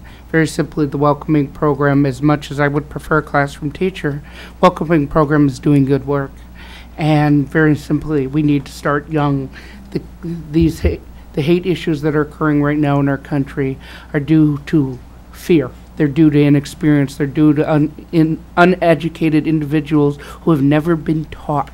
Not that they aren't intelligent, not that they didn't receive a school education, but they were never taught what this means. And suddenly, it's a complete and utter paradigm shift. Therefore, you start in elementary school, you explain how these things are handled, how issues are handled. how differences are handled, and then you start stop with the bullying, because you're not afraid of things you know. You're afraid of things you don't know. And therefore, I have to say that I have to vote against this amendment because I got to protect it. Okay, James. Uh, I'm uh, ditto on Nikki's comments. Okay. ditto too. Okay, there's some support there. Uh, anyone else? Okay, um, professional pathways, professional development, TJ? Uh,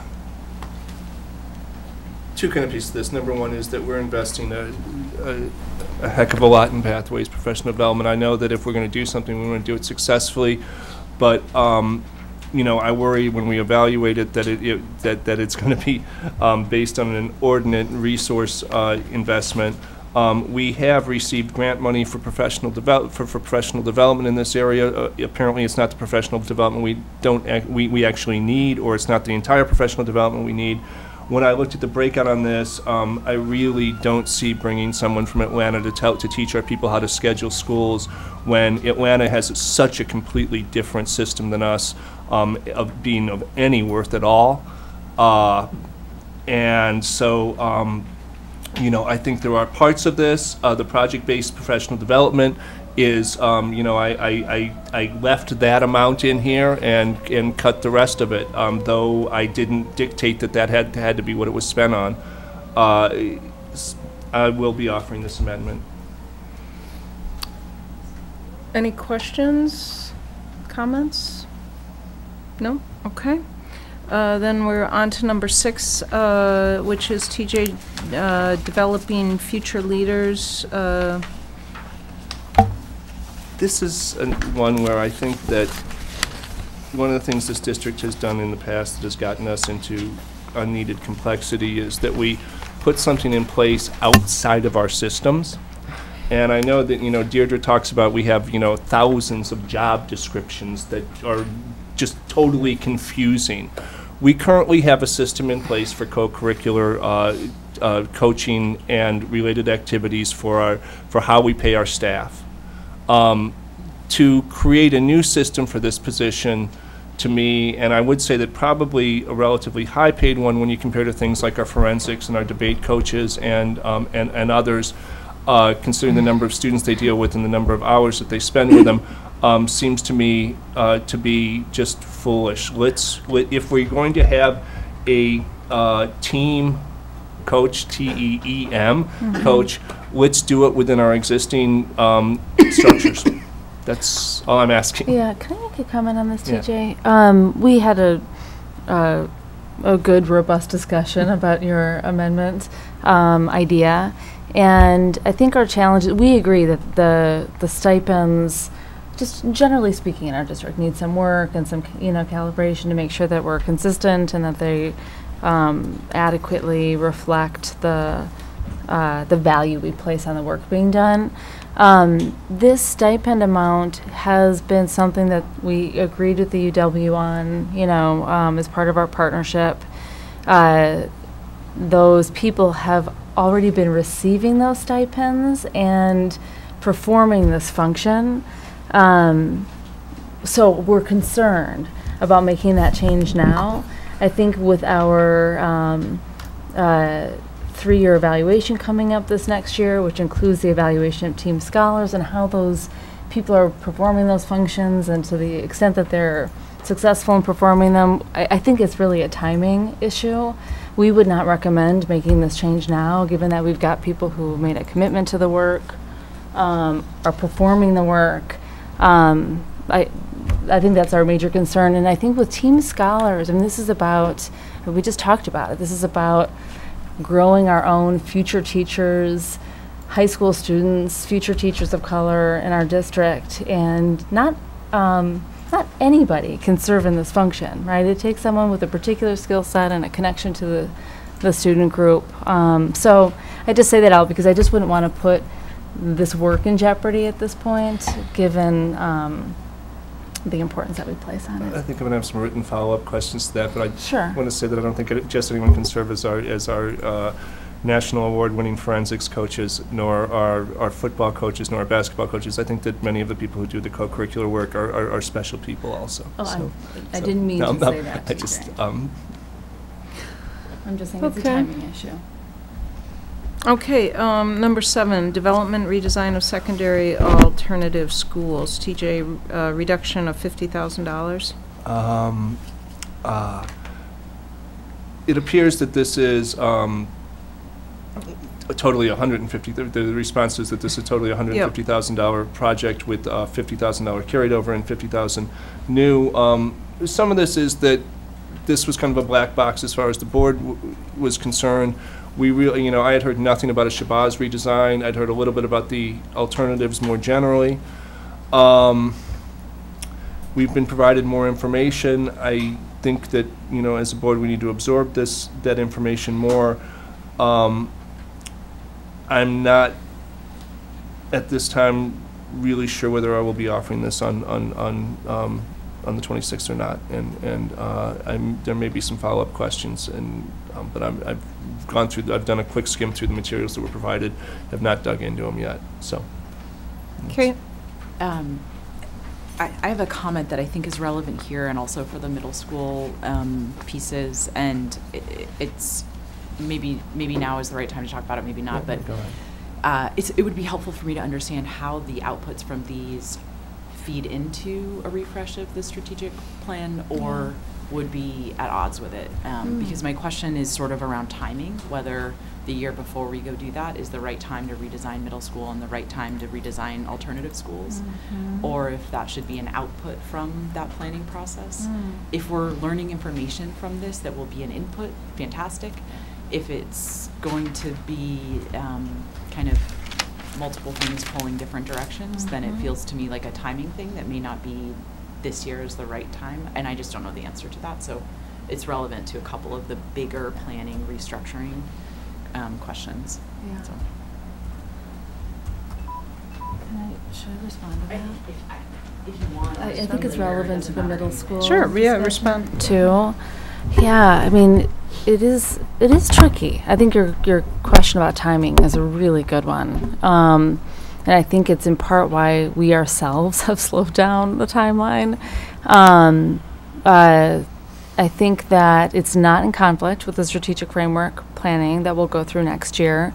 Um, because we're not launching new work, right? We're looking more into it. We're uh, developing potential models, and then it'll be up to us, you know, as a body, to figure out kind of how we pace out um, the implementation of that work over time. Um, I think that I can't imagine a scenario where a year from now, middle school doesn't continue to be a challenge for us. Um, uh, there's a lot of work that we need to do just um, uh, building relationships with kids and, and improving the quality of engagement and instruction generally. Uh, that wouldn't require any kind of redesign. But I think we as a body keep coming up against structural issues at middle school that make it difficult to meet their needs. Right, every year we talk about the fact that not enough students get uh, opportunities for things like world language, for right all the the experiences that make well a well-rounded middle school experience uh, good for kids. So I guess the problem isn't going to go away. Um, I would hate to lose a year making progress on understanding the problem and what our options are to address it.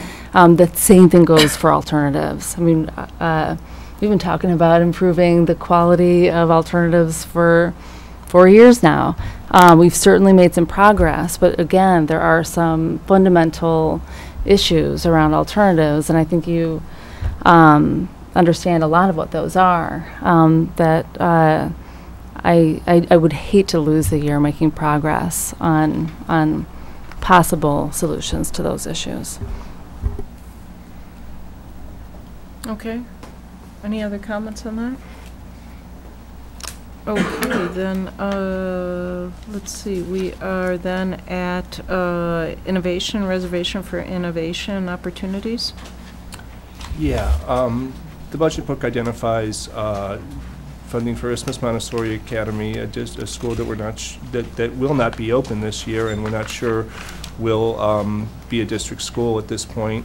Um, Badger Rock, a school where we have a full-time middle school paid principal for a school of under 100 kids. And I think that um, that principal should be able to f- find um, time to do curriculum development without uh, external support. I'm not quite sure what redefining Spring Harbor means, um, nor, nor, nor, nor right. And so I think that providing reservations in, in this manner for, um, out of the TID funding is not something that I will be able to support. I think that, uh, number one is, I'm not even sure that these are innovations in any way, shape, or form, to be honest. Uh, I think that that's um, an interesting use of, of of that word. Uh, There really, we don't have much details on this. I believe that we funded some professional development for Badger Rock and Spring Harbor around experiential learning previously out of the 2017, out of the 2016-17 budget. Um, And I'm not sure how, if we're talking about ongoing expenses here or what. And apparently that money was able to be found within the 2016-17 budget. Um, So it, it's out there somewhere. Um, Anyway, so it, it, it- it's just that with, with the minimal information and, and what that information points to, um, I'm not really, I'm not, I'm- can't be, I'm not supportive of it. Anna? Yeah, I share concerns as well on this one, TJ. I feel like with that amount of money, I think there needs to be greater clarity around how it would be used, mm-hmm. where it would be used. I have concerns around IMA as well, since the school doesn't technically exist. I don't think we should be allocating money within this budget to put towards the school, so. Yeah. I just think there needs to be greater clarity around where the money would be going. Yeah, you know, I'm rereading the description that's in the budget book as we speak, and I, I'd like to actually get, take a shot at rewriting it in the next iteration, but, um, I do know, I mean, this is to twenty-five money, right? And as you know, is best spent, um, on one-time expenditures, not on recurring expenditures. Um, so we've been careful to think about the kinds of one-time expenditures that would lend themselves well, um, which is why you see the kinds of things that are um, being planned. I, I, I think the term that's important is this idea of reservation, um, right? That it's it's actually not necessarily earmarked for any of the things that we just listed. It is literally a reservation, and um, we run such an incredibly tight budget. Um, I think, um, and um, there there generally isn't a whole lot of flexibility there. And when we come up against uh, uh, things that are challenging, where we, we need to be nimble and try to get something going to solve a problem, we don't necessarily have a place to go. Um, and, and this is the real reason why we, we thought that it would be helpful to have a reserve um, in TID 25.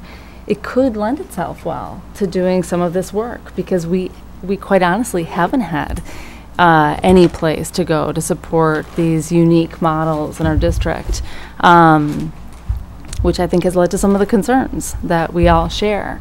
Um, but I, but I would never want uh, anyone to think that it is limited to only these opportunities. I mean, think about um, one of our hardest, uh, most challenging issues is what to do to to better support our most at-risk learners, um, which can be solved in part by alternative education models, but but not entirely. We actually don't understand the problem as much as we need to. Um, I could see some of these mon- monies flowing into doing some innovative work in that area, as an example. Um, so I will work on clarifying this for you, TJ, and see if that helps. And may I suggest also that, that, and I appreciate the clarification and that, that, that Yeah. it's not these, that, that as the budget book reads. Yeah. Um, that also perhaps with the clarification, um, some kind of process for things coming before the board for Yeah. approval, especially if they're below the consent agenda item, Hmm. um, a dollar amount, because, because we would never, and so if that could be part of the clarification, um, we can look at that in, on the twenty-sixth. Yeah, I would say I have the exact same concerns, and I certainly, particularly, I, I voted for uh, Isthmus Montessori, but I wouldn't want to be allocating money um, uh, to it, and I also have concerns about using other resources before we've uh, decided also some of the issues around class sizes and things like that. So, um, May I add one other comment about TID 25 um, before we move off of that? Um, I think that one of the construction ideas in TID 25 was that it was going to be about a four-year spend out, so that we didn't have a spike in spending. You might remember that. Um, and we thought that we might not be able to anticipate everything that was going to happen over the next four years. And the idea was originally to have about 10% of the 9 million just be a reserve, like you said, a reserve. Um, if the explanation in the budget is overly particular, and uh, then you know, fine, we can deal with that. I hope that we can hold on to the concept, though, of leaving a portion of that nine million dollars in some kind of reserve capacity o- to be spent or decided upon over the next few years. You, you, we just don't know what might come up. Okay. And in our attempt to limit the spending on TID to non-recurring, it naturally is kind of skewing towards maintenance and tech infrastructure. And it'd be nice to, you know, uh, have some higher order uh, value out of that out of that money. Okay, so uh, Anna, uh, we're on middle school project, uh, 150,000, and TJ, you said your number um, three, middle school report card, also uh, folds into that. Sure, I'm a little confused because when I'm looking at the budget book on page thirty-five, it says the middle school project, it's allocated at a hundred and fifty thousand, three hundred thousand over two years. But here in the administration's, res- so first, just if you can clarify Mhm. that. Yeah. Do you want to take that, Lisa? It's- Sure. It's basically, we, we made a mistake. Sure. So, Um, passed over So here. given the potential changes that we know are in store for us at middle school, um, actually, this um, edit that we need to make in the budget book um, for next year is actually um, $50,000, and it's to um, really build on the school-based planning teamwork that the middle schools have already started. So um, they're actually planning around redesign, around scheduling changes, and we believe that um, the support for the teams and really um, helping them to understand different scheduling models will actually allow increased access and opportunity to world language, fine arts. Um, but we know that the schools are counting on this planning time next year, so it's actually um, a change we need to make in the budget book. So for fifty thousand dollars for next year. Good question. Thank you. And the only other concern, and this goes back to TJ's concern as well, is that um, th- this reliance on bringing in outside consultants, I, I do sometimes feel is problematic for our district. Um, because some, sometimes I feel like we're bringing in folks that don't have a strong understanding of our school district, our Mhm. values, our priorities, but then they're making pretty significant decisions about how we're, we're changing things. Um, and I've also just had some challenges around the consultants that we've utilized because when I go and vet them, there are some red flags for me um, around the work that they have engaged in prior to being a consultant. And um, so that's just a concern I have that, you know, I, I, I want to be mindful about the folks that we're working with and really making sure um, these are people who, who share our values, who share our, pr- our priorities in this district. Um, and so that was the other piece, and because I actually, and I really believe we have talented, excellent staff that are knowledgeable, that have been in our district, that have, I think, have great ideas if we tap into them. Um, so th- that was my other concern. Okay, TJ, And I on guess the that, report that, card? that, you know, maybe Lisa and Jen speaking a little bit to this notion that in a multi-year project, we're going to be looking at um, what perhaps could end up being some, si- and Alex too, um, some significant changes in our middle school. And that too, at the front end of that, do a report card redesign when at the, uh, at the back end of that, we maybe want to be doing a report card redesign also, seems to me to be a little confused. And so that's, Yeah, 'cause we're um, yeah, and I mean, it seems, you know, uh, because I can see three, four years from now, when this work is, is reaching its fru- fruition, wanting to do another report card redesign. And, um. Um, Sure, I can say a few things, and then Jen, feel free to chime in. Um, We actually pushed the middle school report card work off a year already. Um, It was causing great consternation um, with middle school staff and actually our um, C&I department, but what we have gotten the most feedback on from middle school families and staff is the lack of transparency around the report card. It's this hybrid model. Um, that has caused confusion, and um, we know that report card rework takes multiple years. It's a phased approach. Um, So what we were looking at in this proposal was really um, team planning to develop the model that they've talked about already. And then um, there's extensive IC customization that has to happen. Um, We know that if teachers can't access and can't efficiently do report cards, that is a source of huge frustration. So it was about the planning for, knowing that the model that we wanted to go through for um, report cards would increase transparency and get to um, really the standards-based instruction that we're teaching to in classrooms. So it was really a planning year that we've put off once already. Okay. Um, Is it possible to divide up the planning from the IC customization and perhaps have, because this might be something where, you know, a year of planning and then, then, you know, a year and a half of planning to, before the IC, I mean, I, you know, kind of, do you, do you understand what I'm saying here? Yeah, it actually is divided in the Okay, budget I'll have to- I'll have to look between again. IC Okay. and extended Okay, employment. Then I just Yeah. want to comment that our, uh, our older son was um, in middle school when the last middle school redesign report Mhm. card went through, and um, it was confused from the start. I'm with you I'll on that. say that. We know we can do better. Well, yeah, I mean, I, I must say that probably some of the, um, the, the st- most straightforward feedback that I got uh, Yeah. on, on, from schools, teachers, year one, um, and parents, but teachers, was the confusion around middle school report cards. Um, so it's been a, just kind of an issue that's been laying out there for far too long. Um, so. I would say even if we were not thinking about a model redesign, rep- the report card rework is essential. It's going to have to happen no Yeah. matter what. Yeah. Okay, Nikki? I just want to echo Anna's concern on transparency. Um, I've heard from a ton of elementary parents, not just on confusion, but that they didn't know how it worked, what the criteria was, and that they were very confused by it. Heard it during the forums, I've heard it during when I was asked it directly, and I was just saying, could we please make it as transparent as possible for everyone? Okay, so that leads us to our last one, budget design. Anna, 50,000. Sure. This one I just flagged, I, because when we were going through the special education plan, one of the components of that plan um, was, it it referenced using um, student-based budgeting.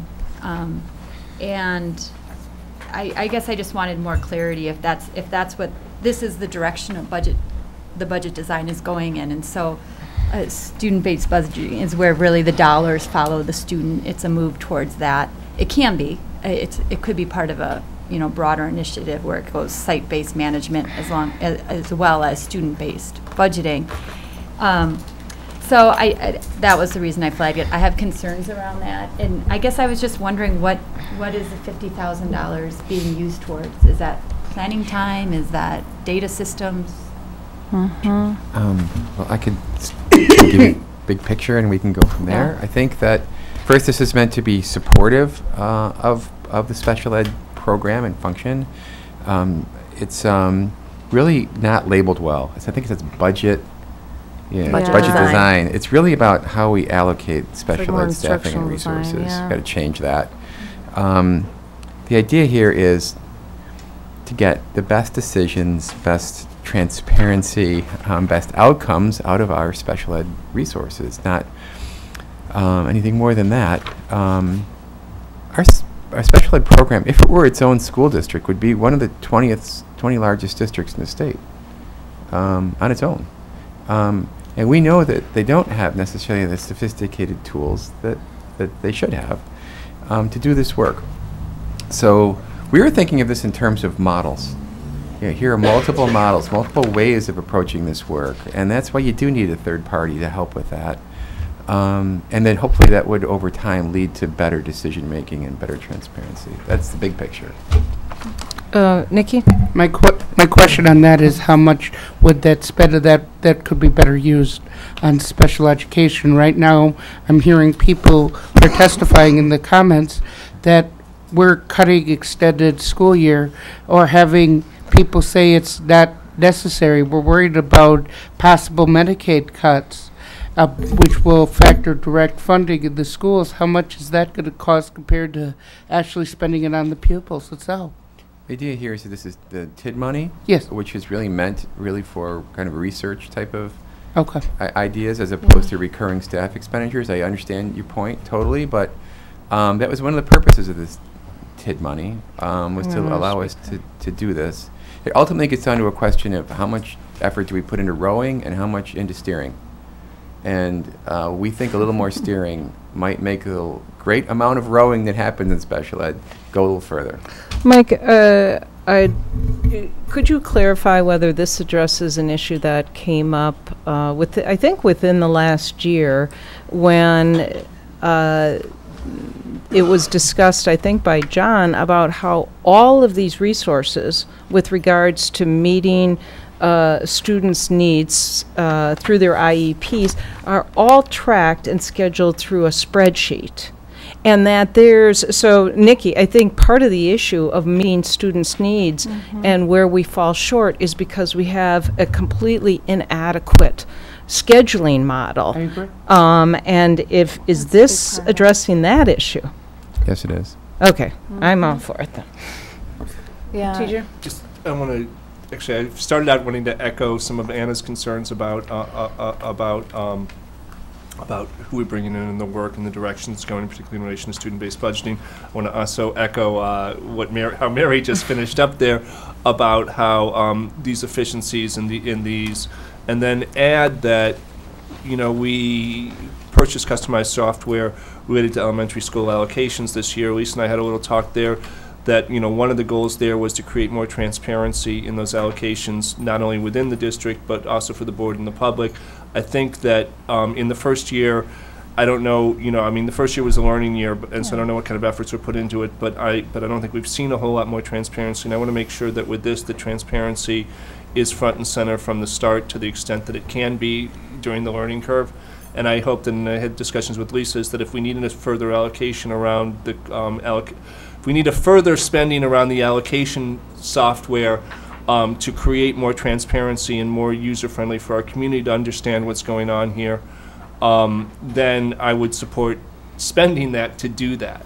Um, or if it's just a matter of just us working with it better, that would be even better than spending more money. Hmm I do want to be real clear that this is not uh, kind of a veiled attempt to to try to get at a student-based budgeting design model, which I think I'm hearing from a couple of board members. A That is n- question. that is not the case. Um, you know how I feel. I think we should be exploring um, different kinds of uh, ways of flexibly allocating resources in our district. Um, but this is very specifically about both the technical tool and helping us come up with um, more viable models for allocating, which uh, goes back to the Michael G. and Greco talk that we had this morning at the Teaching and Learning Institute. Um, so we just think we need some help at trying to get at this issue that we struggle with mightily year after year, where um, uh, uh, our resources aren't necessarily going to the right places, um, and therefore not necessarily meeting the needs of all kids. Um, and uh, transparency, big yes on that. Um, that'll be really important for the budget design. Okay, so we are going to wrap, yep. So just in that comment, I will withdraw that budget amendment then. I, I would just encourage that um, when we're going through this process, that we do engage stakeholders, families, students Mm. in the process too. I think they have a lot of insight that sometimes is not included, which leads to breakdowns in these processes. Yeah, you got it, Anna. Mhm. Can I ask something? Would that be all right? Sure. Um, I feel pretty think Kate clear. has one question. Oh, go ahead, Kate. I'm sorry. I'll give it back to Mary. I just wanted to um, make one comment. When we uh, voted on early action items two weeks ago, three, uh, whenever we did that a month ago, um, we did not approve two positions um, for behavior support. And I just wanted to encourage. I don't. I don't know what the answer is. Um, I. I personally feel like there is more opportunity to engage with how to support behavior, um, how to support social emotional learning, how to enable children without power to have power. Like I, I think there's a lot there, um, and I and I don't want the message, at least from me, to be um, we don't want to invest in this. I think the first bite at the apple maybe wasn't the right, right investment, but if there are other um, requests that the team has specifically around behavior, I would be open to hearing that. I know it's incredibly late in the game. I just wanted to throw that out there. So. Okay, so are we going to wrap this up? Yeah, I was just, uh, I feel very clear on, I think where we're headed. I've got all my notes, but there is one thing that I am a, a bit unclear on, and that is uh, only because there was no discussion, and I, I don't want to make any assumptions based on the, uh, on that. So we had a, we heard a little explanation from TJ on where he stood with the Pathways Professional Development. There was no discussion um, from the board on that particular issue, and I don't know exactly what to make of that. So maybe, I mean, TJ will make a decision on whether or not he wants to forward this amendment at the regular board meeting. Um, just want to pause there to make sure there isn't anything else before we wrap up the meeting. Yeah, no, I think um, with all of those who proposed amendments, do you have clear enough feedback from the board to know um, how you want to proceed, whether it's, um, On class sizes, I would appreciate um, any communications for where particular slices of schools or grades that, that- that board members and community members' priorities are. Um, What's most important to you? And, you know, if you want to individually contact me, and, and, and anyone, anyone in the whole world, um, except for that guy in West Dallas. okay, so, um, anything else? Okay. Next steps uh, slide, it's in your packet. Okay. and We'll be back in twenty-six. Sounds good. All right, thank you, thank you, Mary. You're welcome. Thank you. Uh, We are on to our last item then, which is uh, the proposed 2017-2022 affirmative action plan, which will be a proposed action item at the June 26th uh, regular board meeting. So uh, it is roughly 44 pages. I assume we're not, Dylan, going through them page by page? Hi, everybody. Um, I first want to briefly introduce you to Eric Keston, who is our Title IX Affirmative Action Contract Compliance Officer. Um, Eric is the father of our plan. Um, you'll recall that we're on a six-month extension to our previously expired plan. I think it's just worth highlighting um, that this plan is a complete rewrite versus a redlined version. Um, part of it was just fresh eyes, fresh look at the document. Another was just taking the opportunity to really double check and pressure test our calculations, our calculus, based on the, the statutory requirements. Um, and then the third piece was to recognize that in these last five years, we've had lots of discussions regarding diversity hiring. And while the affirmative action plan is not itself our diversity hiring plan and should be distinguished from that, it does at least create the floor and gives us the context for the conversation as we talk about uh, plans regarding diversity hiring and expanding our workforce. Um, This is very specifically based on the calculations of availability within the workforce and our current utilization. Um, But, uh, yeah, and I'll leave it at that. Okay, so then we're just going to open it up for uh, board members' questions or comments. Questions or comments, Dean? Yeah, Jen. Um, Number two, where it says a message from superintendent, mine's blank. It's blank. Yeah. I will write a message and I will include it. Thank you for that feedback. Yeah, mine's blank too. They're all blank. All seven. TJ? Duly noted. Um, I will work on guess, that. You know, I understand that there's a distinction that, a- that, a- that an affirmative action plan is, as you said, the, the floor. I'm very concerned about our district putting forth an official document that says that um, we have a surplus of minority teachers. Um, I, I don't think that anything we should say publicly should say that, because I don't think anyone in this room believes that's true. Um, Secondly, so I would like to see in some sense that, that, that the hiring plan, or whatever we want to call it, linked to this document and, and, and have them compo- uh, compound. Um, secondly, I think that, you know, I don't know whether, whether this is legal, um, compliance issues, but I think that the category of minority is, is not a meaningful category in this context. I think that, you know, that, that hiring, um, you know, a bunch of teachers from Easter Island is not really, th- th- that would change our minority numbers, um, is not what we're talking about. And I think that disaggregating, um, by the categories that are used there, the racial categories, the, um, the Hispanic categories and those would be more useful, and I don't know what the availability date is on those and how our, and how our compliance would look in relation to those, and I don't know how e- readily available those are, but I would hope that, that they would be. Um, and that, that that should inform what is really a hiring plan. Because availability does have to be part of the question, and our goals can be ambitious, but they should be cognizant of the availability also. Um, secondly, I Ju- think, ju- yeah, ju- yeah. Do do you want to respond or say to, before we move Yeah, on to that okay. point? I guess Why my don't we one pause question is, I and do hear- want to clarify, and uh, if Eric is prepared to respond tonight, we can respond to that. But what I'm hearing is the concern raised is that the big category of minority is nowhere, is not nuanced enough, in your opinion, um, to really show where we're hiring, uh, because it is so vast in who it could include. Is, is that intention, is that intentional from a compliance standpoint, or is that just the way we chose to do it? So we went off of, like uh, Dylan said, the, the statutes and the Code of Federal Regulations, and the terms the federal government uses are minorities and women.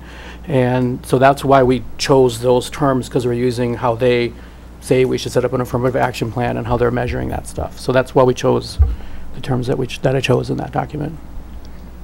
Okay, Anna? We're going to stay on this point, though, right? Yeah. Or, No okay. problem, no problem. mhm. My question is, is the, is the statute, is that the floor, like the basement of the language we can use? And then we can move away from that, or is that like the required language?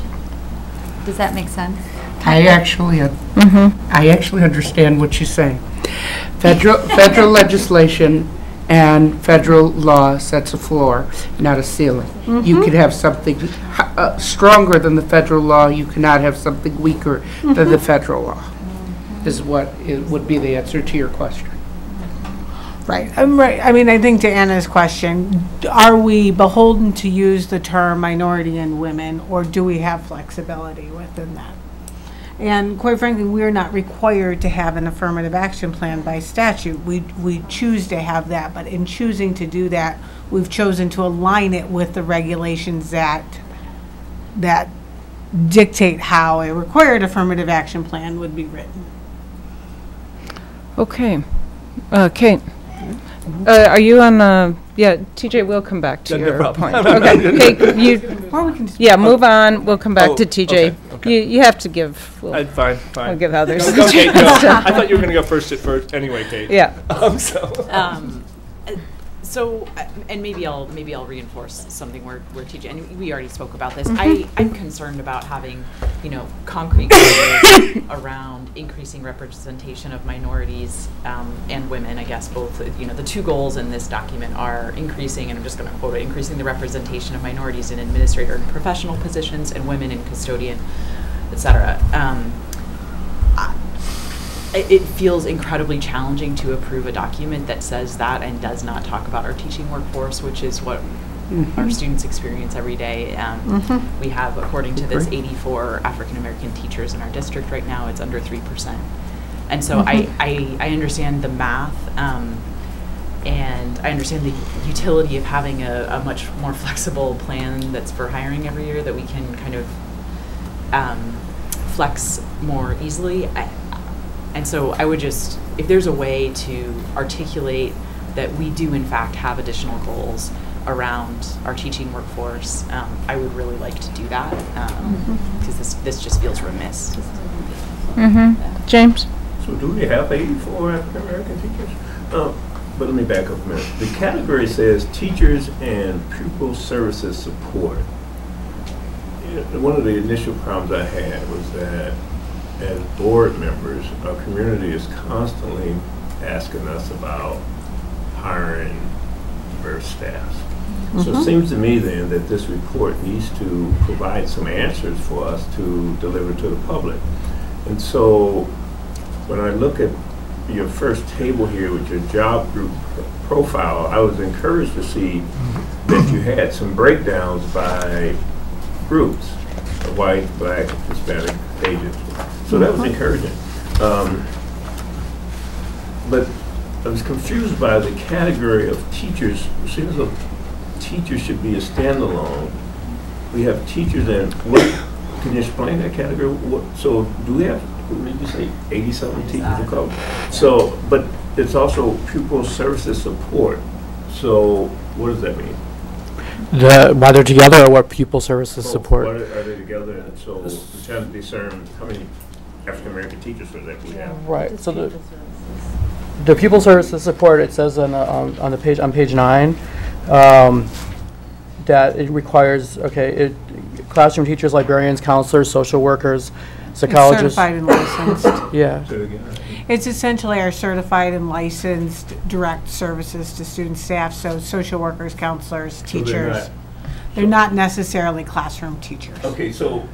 Can we I mean, a lot separate of that what out? We've been talking about the classroom teachers that are, and so, for me, how do you, I'm not sure how you answer these questions the community's coming to us with.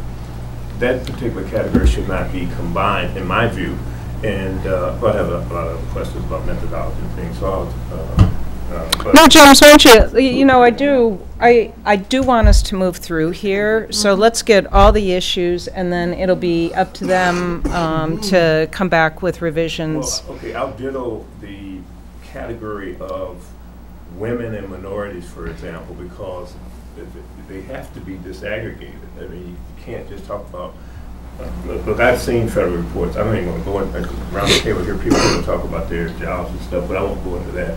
But I can produce reports where the federal government talks about, in job categories, just like you did your first table here, uh, where you broke it down, as you, as you go through, what do you have, six or seven uh, most popular positions in the district, then you combine them into minorities. That was disappointing. I thought maybe you would carry that first table through with the uh, detail that you had, because that would have been uh, more telling.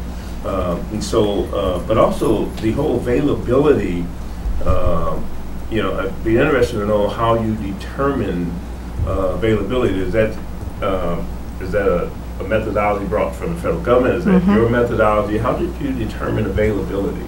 Uh, It's from the federal government. So it's like, So federal government has categories that you have here on these particular uh, job categories in our district. yeah, so they talk, the federal government talks about like reasonable recruitment area as the external, so it's, it's adding up the external availability with the uh, internal availability for staff that's already within the district. So the external availability is, is largely determined by the district's reasonable recruitment area.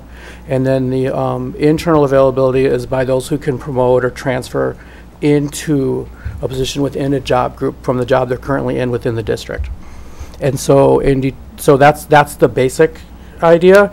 And though, so determine what those numbers actually were, I've spent a lot of time talking to human resources because they're the ones who do the recruitment and do the work. You know, typically the EO, EEOC are the ones that develop the uh, race-based uh, availability numbers. Uh, That's typically, that's been historically the case.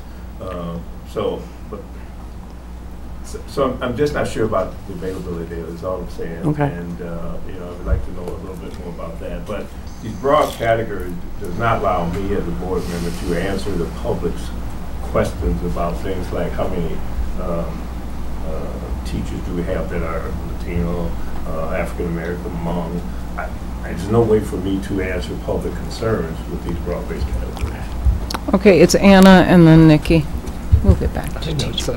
I'm not going anywhere, Um, unfortunately. So We will as we're be working going through that somewhere. discussion as well too, I, I am wondering if we have the um, capacity to include groups that aren't in this. I feel like there are other groups. um, I can think of individuals with disabilities, LGBTQ. I mean, can we go into that and, and see if we can? I mean, I think at some point, it's either the document is our affirmative action report as is defined versus is it our, is it our human resources report, which is an annual report generated in November, that goes into, to details in that versus the affirmative action report, which is really based on the federal government saying, we recognize that there were past practices that need to be remedied for certain groups by taking affirmative actions to diversify our workforce. And while quotas and whatnot would be illegal, here's how you can develop a uh, plan to affirmatively counteract uh, prior injustices, quite frankly, within the workforce. But it's going to be within this limited capacity as is hmm. defined by federal statute. Okay, James. But we're in agreement with that. You, you talk about underutilization. If you talk Right. about underutilization, then that's a strategy then. You, you're developing a strategy for hiring. Otherwise, why would you talk about underutilization? So it's Right. part of, so we're talking about the same thing here. We're, we're, we're at least very much understanding what an affirmative action plan does. So, because I'm always concerned when we have, when we start talking about whether groups are underutilized or overutilized, because then you start developing a strategy around those that are underutilized. And so if we're not determining underutilization properly, then the strategy we develop for hiring is not going to be proper. And so, so I think Understood. My page. response was We're on the same page. Bill, and I, I think we, the board understands the difference between affirmative action and, and uh, HR plan. And so, uh, so again, come to, come to stand, the broad categories are troubling. Okay, Nicki. My issue, one, uh, the federal government on minority disability is included, correct? And how they define minorities, it's minorities and women, do they group it together, do they group it separately?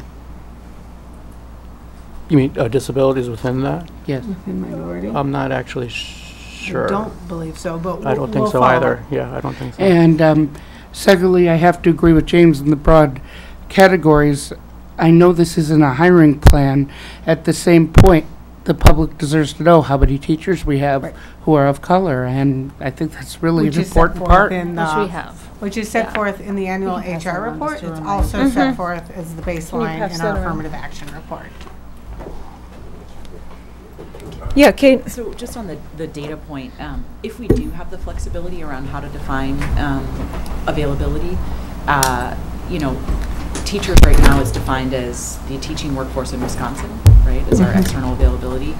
Uh, I, I would guess we mostly hire um, teachers right out of school or in that first kind of early tenure. The diversity of that workforce is quite different than the aggregate Wisconsin workforce. Um, the diversity of Mhm. college, you know, of, of new teachers graduating from college in the U.S. is like, I think it's like a quarter. Um, it's not where we want to be, but it is. It would set a bar higher for us. Um, uh, Mhm. That could be a way to do it. I don't know, but I would agree. I had some concerns with how the availability of data looked, and Mhm. to the degree that we could set the bar higher by framing that differently, um, I think we should. Noted, thank you. Yeah. Okay, I'm going back to TJ. Um, Um, I, I'm going to make this very, very quick. Number one is that um, I just want to repeat that I think that in some sense that this should be linked to an HR plan or something Mhm. that, that reflects our broader goals as a district, however they're defined by job category and how they're defined by different um, demographic categories. Two, I think that a consideration of including, as Anna said, um, people, with, people, individuals with disabilities as one of those categories, LGBTQ as one of those categories is worth at least considering, depending on how much work is that. people, are you? N- What's that? Yeah, no, no, and, and I said worth considering. I, um, um, number three is that I think that we should also recognize in whatever plan we have an underrepresentation of, of male teachers in our district. And that, um, and that, you know, that there is much talk about that as also being something that our students could benefit from. And number three is I realize that this is the affirmative action report in terms of our internal hiring.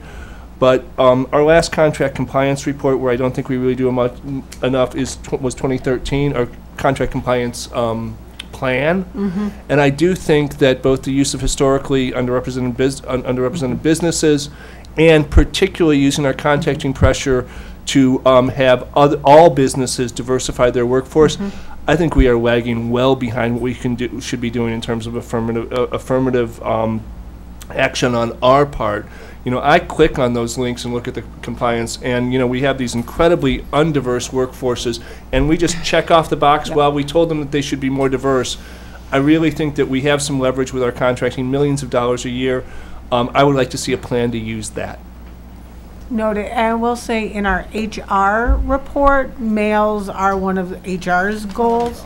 Um, so separate again, but then that intentional link that either if this, either the affirmative action plan should do what it can do, if it cannot expressly do that, to have a more formalized link between our HR report and our diversity hiring goals, um, is what I'm hearing. And I understand both uh, the affirmative action plan, which we have in place to set an example for those that we contract with because we want their AA plans, but then to more fully leverage our capacity as a contractor through our contract compliance work.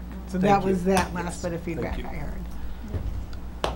Um, so what we will do is we will take this feedback, we appreciate this feedback. Um, we're not surprised by most of this feedback. How we calculate availability has been an issue every time AA has come up, and, and we appreciate that conversation.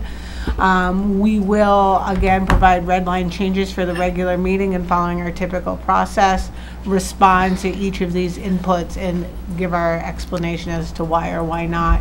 Uh, we would recommend integrating it into the affirmative action plan for the regular meeting. Mhm. And ultimately, I, I didn't pass that report around to be a jerk. I, I, I just want, we have to do a better job of demonstrating how our workforce goals, you know, which are published, our annual hiring data and the affirmative action plan all work in conjunction with one another. So it's excellent feedback and, um, we'll take it and work on it some more. Thank you. Thank you. Great, thank you. Thanks, you guys. Thanks for your work on this, Eric. Great, then all we need is a motion for. that um, we adjourn. Adjourn. All in favor? Opposed? We're adjourned. Okay, you.